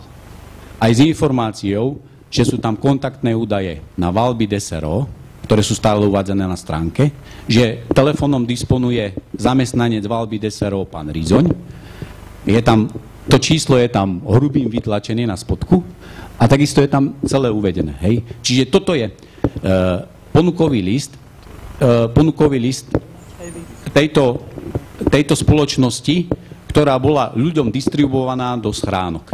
Hej? Do schránok. Hej? A ja som sa pýtal aj likvidátora už pred troma týždňami, že či má vedomosť takú, že napríklad pán Ridzoň už nie je zamestnancom Valbitu, ale je zamestnancom tejto SROčky a ten telefon napríklad prešiel. Možno, že Valbit ponúkol im ten telefon, ale na stránke Valbitu sa stále uvádza. A keď zavoláte na toto číslo, tak sa zodvihne pán Ridzoň a najprv, najprv alebo pani Čiefová, hej, jeho sekretárka. A srdečne ich pozdravujem, lebo určite pozerajú. Takže oni najprv sa správajú ako pracovníci Valbitu. Hej. To je veľmi dôležitá vec. Hej. A Ak chceš podrobnosti o tomto... ja už len som- poslednú otázku potom položím. Počkaj, ja by som nezabudol, čo som chcel povedať. E, O tomto by si sa mal len s likvidátorom porozprávať detailne, lebo toto ide mimo obce. Veď Ak schránkach ste dačo našli, lebo pravdepodobne nie si ty asi jediný, keď Áno. tak hovoríš. Práve preto sa tu, tuto ja hovorím, nestihol som tu likvidátora, ja som likvidátora oslovil písomne, e, písomne mailom, hej, e, približne pred troma týždňami, neodpovedal mi na to, hej, čiže ja pôjdem osobne za ním, keď e, mi neodpovedal na to a vyvraví, čiže len v pondelok sa o tom dozvedel, keď odo mňa má informácie oveľa dlhšie a dávnejšie. Hej. A moja posledná otázka. E, 13.12.2017, e, už to tu dneska oznelo, pýtal sa to pán Baník, neexistuje zatiaľ záznam zo zastupiteľstva. 13.12. ja som podal priamo podnet tu na zastupiteľstve na komisiu o verejnom záujme. Nasledujúci deň som podal písomne.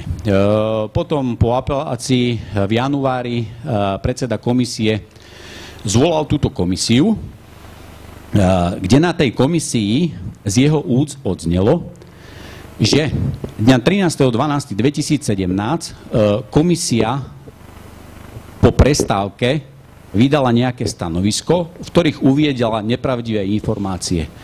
A konkrétne na e, tom zasadnutí komisie uviedol, že e, oni deklarovali, alebo starosta obce predložil komisii potvrdenie, že jeho výpoveď je zaregistrovaná v doručenej pošte. E, V podstate je to tak e, šalamúnsky, napríklad aj v tej, e, Janko to už tu dneska spomínal, aj v tej zápisnici zastupiteľstva, nie je tam celé stanovisko v tej zápisnici, hej, čo mi potvrdil aj e, pán Magera.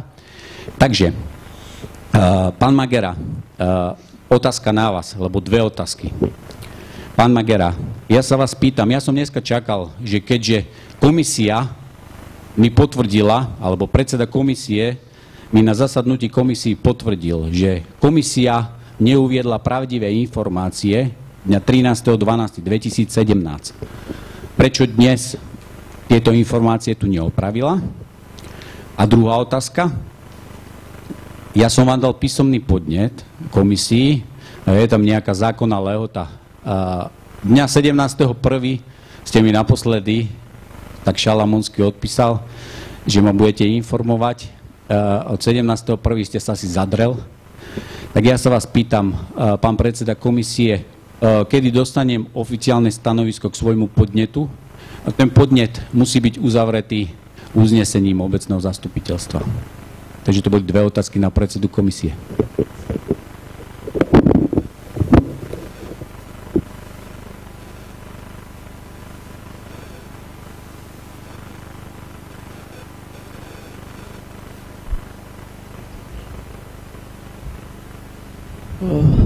Komisia zasadala viackrát naša. Bol som vypovedať na okresnej prokuratúre v Brezne. Členom komisie som pretlmočil zápis, e, ktorý som obdržal z okresnej prokuratúry Brezno. Možno by som k tomu povedal len toľko. Zo zasadania komisie z 24.11. 24. januára 2018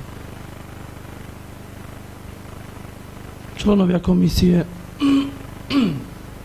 nakoľko nemajú žiaden písomný dôkaz ani iný dôkaz o tom, myslím, inkom, ten subjekt zamestnaní nesúhlasia s podaním trestného oznámenia ako takého.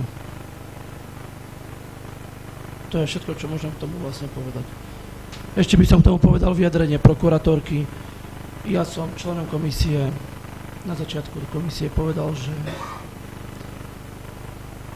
zapisnice, ktoré sú, nebudú verejné. nebudú verejné z toho dôvodu, že sú tam moje citlivé údaje, všetci traja členovia komisie okrem mňa si tú zapisnicu pozreli, ja som ju prečítal. Vetu, ktorú môžem povedať, to prečítam z výstupu okresnej prokuratorky je, Vzhľadom k tomu, že nejde o podnet smerujúci k tomu, aby prokuratúra uplatnila opravnenie v rámci výkonu dozoru nad zachovaním dozoru zákonnosti orgány verejnej správy, vaše podanie končím bez vybavenia, o čom už nebudete osobitne písomne upovedomiť. Nemám viac k tomu, čo ja dodať. Ak vy máte nejaké písomné potvrdenie, ako ste to deklarovali v mailoch, že máte od uh, referentky obce písomné potvrdenie predložte o komisii, predložte okresnej prokuratúre a budeme sa ďalej tým zaoberať. Bez písomného podania nemáme. Vy ste tu viackrát aj na verejnom zastupiteľstve, aj v mailoch deklarovali, že máte písomné. Tak ja vás žiadam teraz to otvorenie pred všetkými. Ako máte, predložte ho. A táto komisia bude konať. Ak máte písomné stanovisko od referátu, tak ho predložte. Komisia nemá ďalej ako konať. Ďakujem pekne. Ďakujem. Ja myslím, že sme vyčerpali všetko. Ešte pán Bánik. No, ďakujem za slovo už posledný krát. Ja by som sa ešte chcel uh, zapojiť do debaty, čo sa týka tých strojov na Valbit. Marek, Marek povedal, že všetky stroje kupoval, kupovala obec. Čo ja mám informáciu, tak ja som hlasoval za to, aby obec kúpila krta, ten išiel za nevýhodný nájom do Valbitu, obec kupovala posypové auto a obec po, kupovala UNC, čiže to je ten šmikový nakladač. Ja mám informáciu o týchto troch strojoch, ktoré sme dali do nájmu technickým službám. O iných strojoch ktoré vlastní alebo vlastnil Valbit, ja nemám informáciu, že kupovala obec Valaska.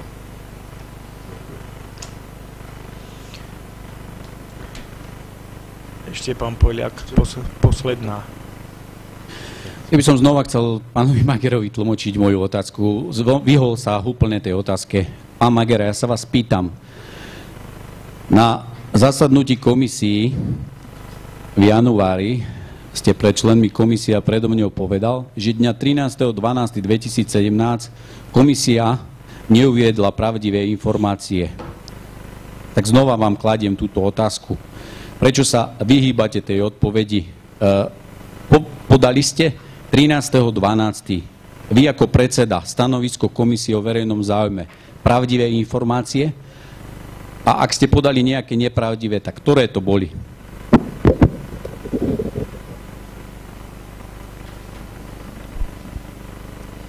Platí to vyjadrenie, ktoré som povedal predtým, než som odpovedal. Ďakujem pekne. Pán Dundovič.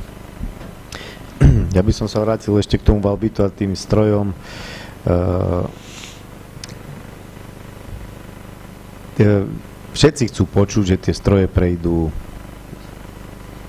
z Valbitu na technické služby. Bolo to vravené uh, veľakrát viacerými, viacerými dokonca dokonca aj, aj mnou, lebo to všetci chceme. Len e, tam sú dva uhly pohľadu na to, ako to spraviť. Prednosta to vysvetlil jasne, e, tie peniaze, keď budú... A to sa dá ale spraviť až po účtovnej uzavierke, ktorá má byť 28.2. Preto sa až potom stretnem. My ešte stále nevieme, v akom stave ten podnik je. A ešte koľko ľudí si niečo, alebo firmy niečo prihlásia. E, do toho dátumu, keď sme mali do toho pondelka, tak likvidátor povedal, že nik sa zatiaľ neprihlásil na pohľadávku, čo je pre nás dobré. Takže e, pre nás ako obec, ktorá je 100% vlastníkom Valbitu. Treba si to zobrať z tých dôvodov pohľadu. E, Keď tie peniaze, chvíľku, e, tie peniaze budú chýbať na tom Valbite, na vysporiadanie týchto vecí, tak sa dajú zohnať len od majiteľa. A majiteľ môže spraviť tak, že ten majiteľ odkúpi tie stroje a dá ich technickým službám, čo sa nebude veľa ľuďom páčiť, lebo si povedia, vieš, my si kúpujeme tie stroje. Tie otázky tu zazneli.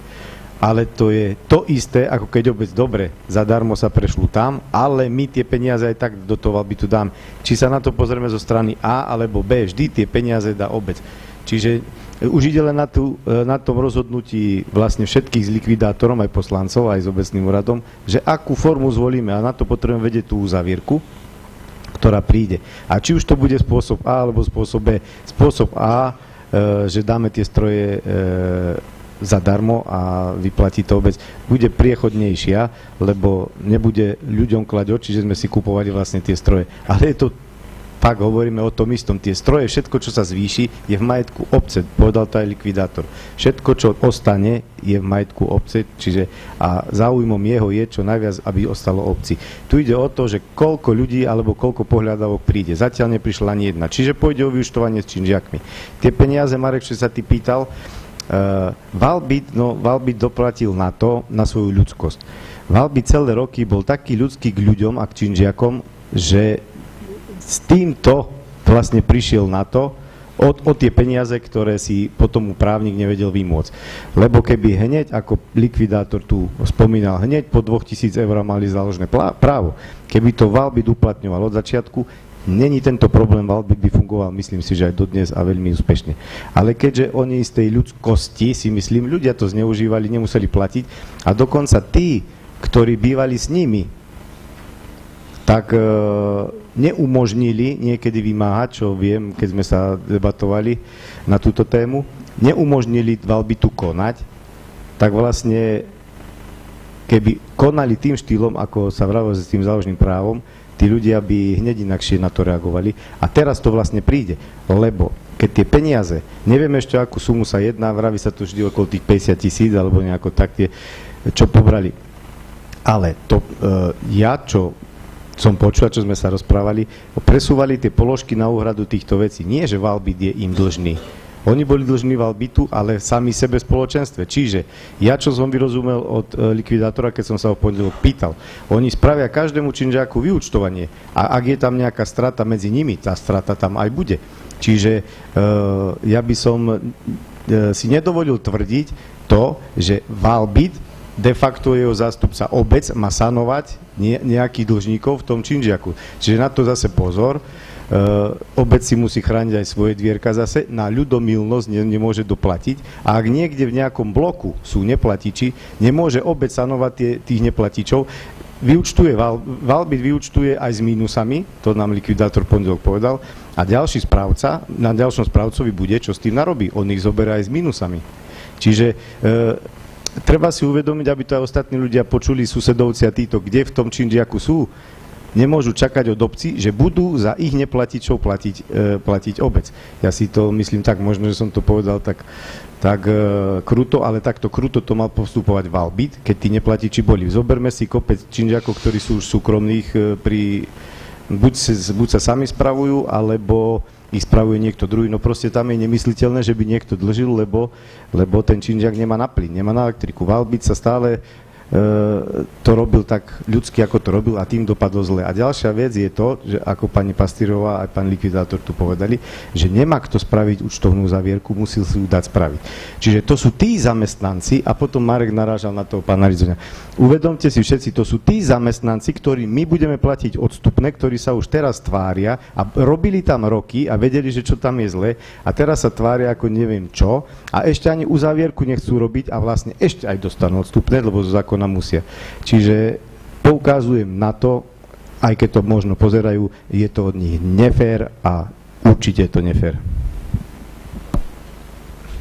Ďakujem. Ja si myslím, že sme vyčerpali. Posledné krát. Ďakujem. Ja trošku tak iným smerom, ale spomenula som si na, na to a chcela by som odpoveď. Asi pred dvomi týždňami som išla smerom na autobus a cintorín, kde je tá búdka e, na náradie, tam sa dobíjala pani, asi nejaká bezdomovkyňa. Predtým tam bola s pánom, asi tiež bezdomovkyňom. Či sa v tom období niečo tam nestalo a či Valaska má bezdomovcov, niečo som sa chcela na túto tému spýtať. Ďakujem. No, má bezdomovcov, ale čo sa tam stalo, to nemám vedomo. Nikto mi nehlásil nič.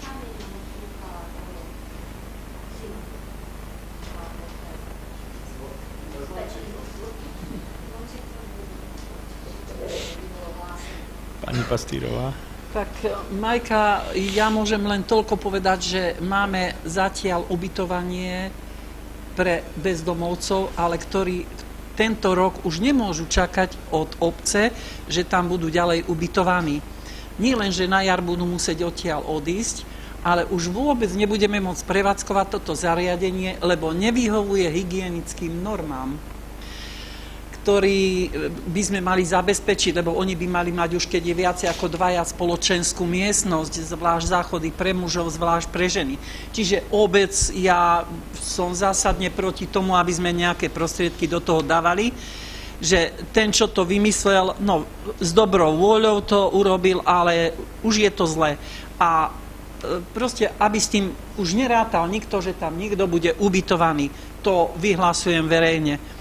No a k tomu, čo e, Marek ukázal ten e, papier, je to po viacerých bytových domoch, ľudia boli za mnou konkrétne a dneska, keď som išla z Brezna, ma zastavili, že čo to má byť, že či poznám tú spoločnosť. Ja poznám, ale nepoviem, že o akú spoločnosť sa jedná, lebo to ja nemienim ovplyvňovať nikoho. Ľudia sa majú sami rozhodnúť, pod akú správcovskú organizáciu pôjdu. Či sa budú sami spravovať, alebo kdokoľvek ich bude spravovať, ale sú na to tí vlastníci a nie, aby voľa kto masíroval mozgy za naše peniaze. A až si spomínate, keď sme boli na Valbite poslanci dole, lebo oni nemohli prísť hore, tak tam pán Rizon povedal, že nie je on odkazaný na tých 300 eur, čo tu zarobí, lebo on je zamestnaný v Košiciach preriekol sa a už sú tu teraz tieto slova vonku. Čiže on je zamestnaný v, v Košiciach, robí pre Košice na Valbite. A viem, že pozerá, tak ja ho pozdravujem, nech si vstúpi do svedomia.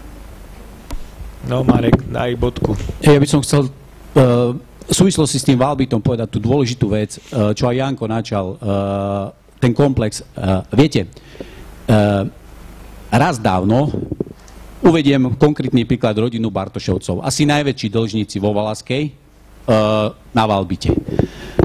Tvoj predchodca Juraj, pán Grene povedal, chcem mať s nimi pokoj, budú tu bývať zadarmo. Hej. Valbit sám na pokyn štatutára obce, na pokyn valného zhromaždenia dovolil sa stať, uh, robi, byť sociálnym podnikom. Viete, toto zapričinil uh, štatutár obce, a Valbit samotný svojím chodom. Viete, a spomínaný pán Holý svojou nečinnosťou, keby bol konal, hej, čo hovorí aj likvidátor. My si uvedome jednu vec. Toto nespôsobili toto si nespôsobili občania. Keby v tých spoločenstvách ostatní ľudia vedeli, že majú neplatiča, tak idú za ním a dávaj, plať, alebo sa stále to vysťahujú. Ale mnohí v tých spoločenstvách o tom ani nevedia. Nevedia o tom.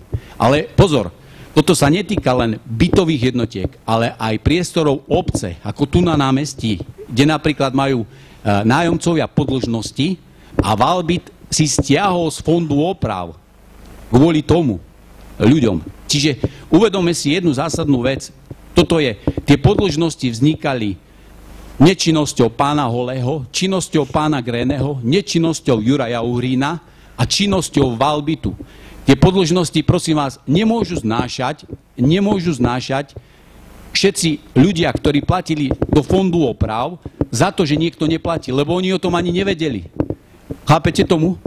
To je tá vec tých 50 alebo 60 tisíc korún, eh, 60 tisíc eur, ktoré Valbit zaplatil, zaplatil alebo zobral z tých fondov oprav, aby zaplatil za tých, za tých dlžníkov, nemôžu znášať. Ak vy vravíte, že teraz má znášať likvidáciu, tak aj toto musí znášať, lebo tú činnosť, tú činnosť, e, e, tú podlžnú činnosť a to vytváranie toho sociálneho podniku, že ľudia neplatili za byty, za to môže Valbit a štatutár obce, valné zhromaždenie, nečinnosťou a nekonaním, že sa už pred 5, 8, 10 rokmi nekonalo, hej?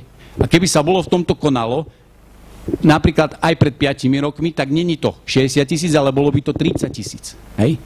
A napríklad za tento rok, za, ten, e, za rok 2017, pán starosta, keby aj obec konala, vznikla e, na nebytových priestoroch jaká podložnosť. Veď nevieme, niektoré nevieme prenajať, ktoré sme aj prenajali, za to nám neplatili. Hej. Ani v tomto obec nekoná a pán Holý nekoná. A Valbit to prenáša, a Valby to prosím vás prenáša na obyčajných ľudí, ktorí si platia do fondu oprav. Toto je, ten kolobeh. Ja vám hovorím stále tu, odjak živa, že Valbit bol jeden tunel. A presne sa to teraz odzrkadľuje. To pôjdu, teraz prídeme k nejakej 100 tisícovej sume eur, ktoré uh, obec zadotuje z rozpočtu, aby sa tá spoločnosť likvidovala. Bohužiaľ, ale prosím vás, treba si uvedomiť jednu vec. Tí obyčajní ľudia, tie babky, detkovia alebo ktokoľvek, či sú mladé rodiny, keď platia zodpovedne do toho fondu oprav, tak jednoducho im nemôže niekto zobrať, pretože niekomu dovolil byť neplatičom. Lebo ten val by to dovolil. Dovolil byť neplatičom a veľkým neplatičom. Dobre, ďakujem. ďakujem. Ja už len bodku za správami poviem. Tvoj otec na Valbite robil dlho a bol konateľom. A ty ideš teraz spomínať moje meno, čo som ja spôsobil. Áno, štatutár je e, obecný. Obec je štatutár. Tak si vyprosujem, aby si používal moje meno v tomto smere. Ty sa hlavne pozri, čo sa stalo na Valbite. Pánu Hrín, uh, ty si zodpovedný. Ďakujem. Neoprávnene si menoval konateľa.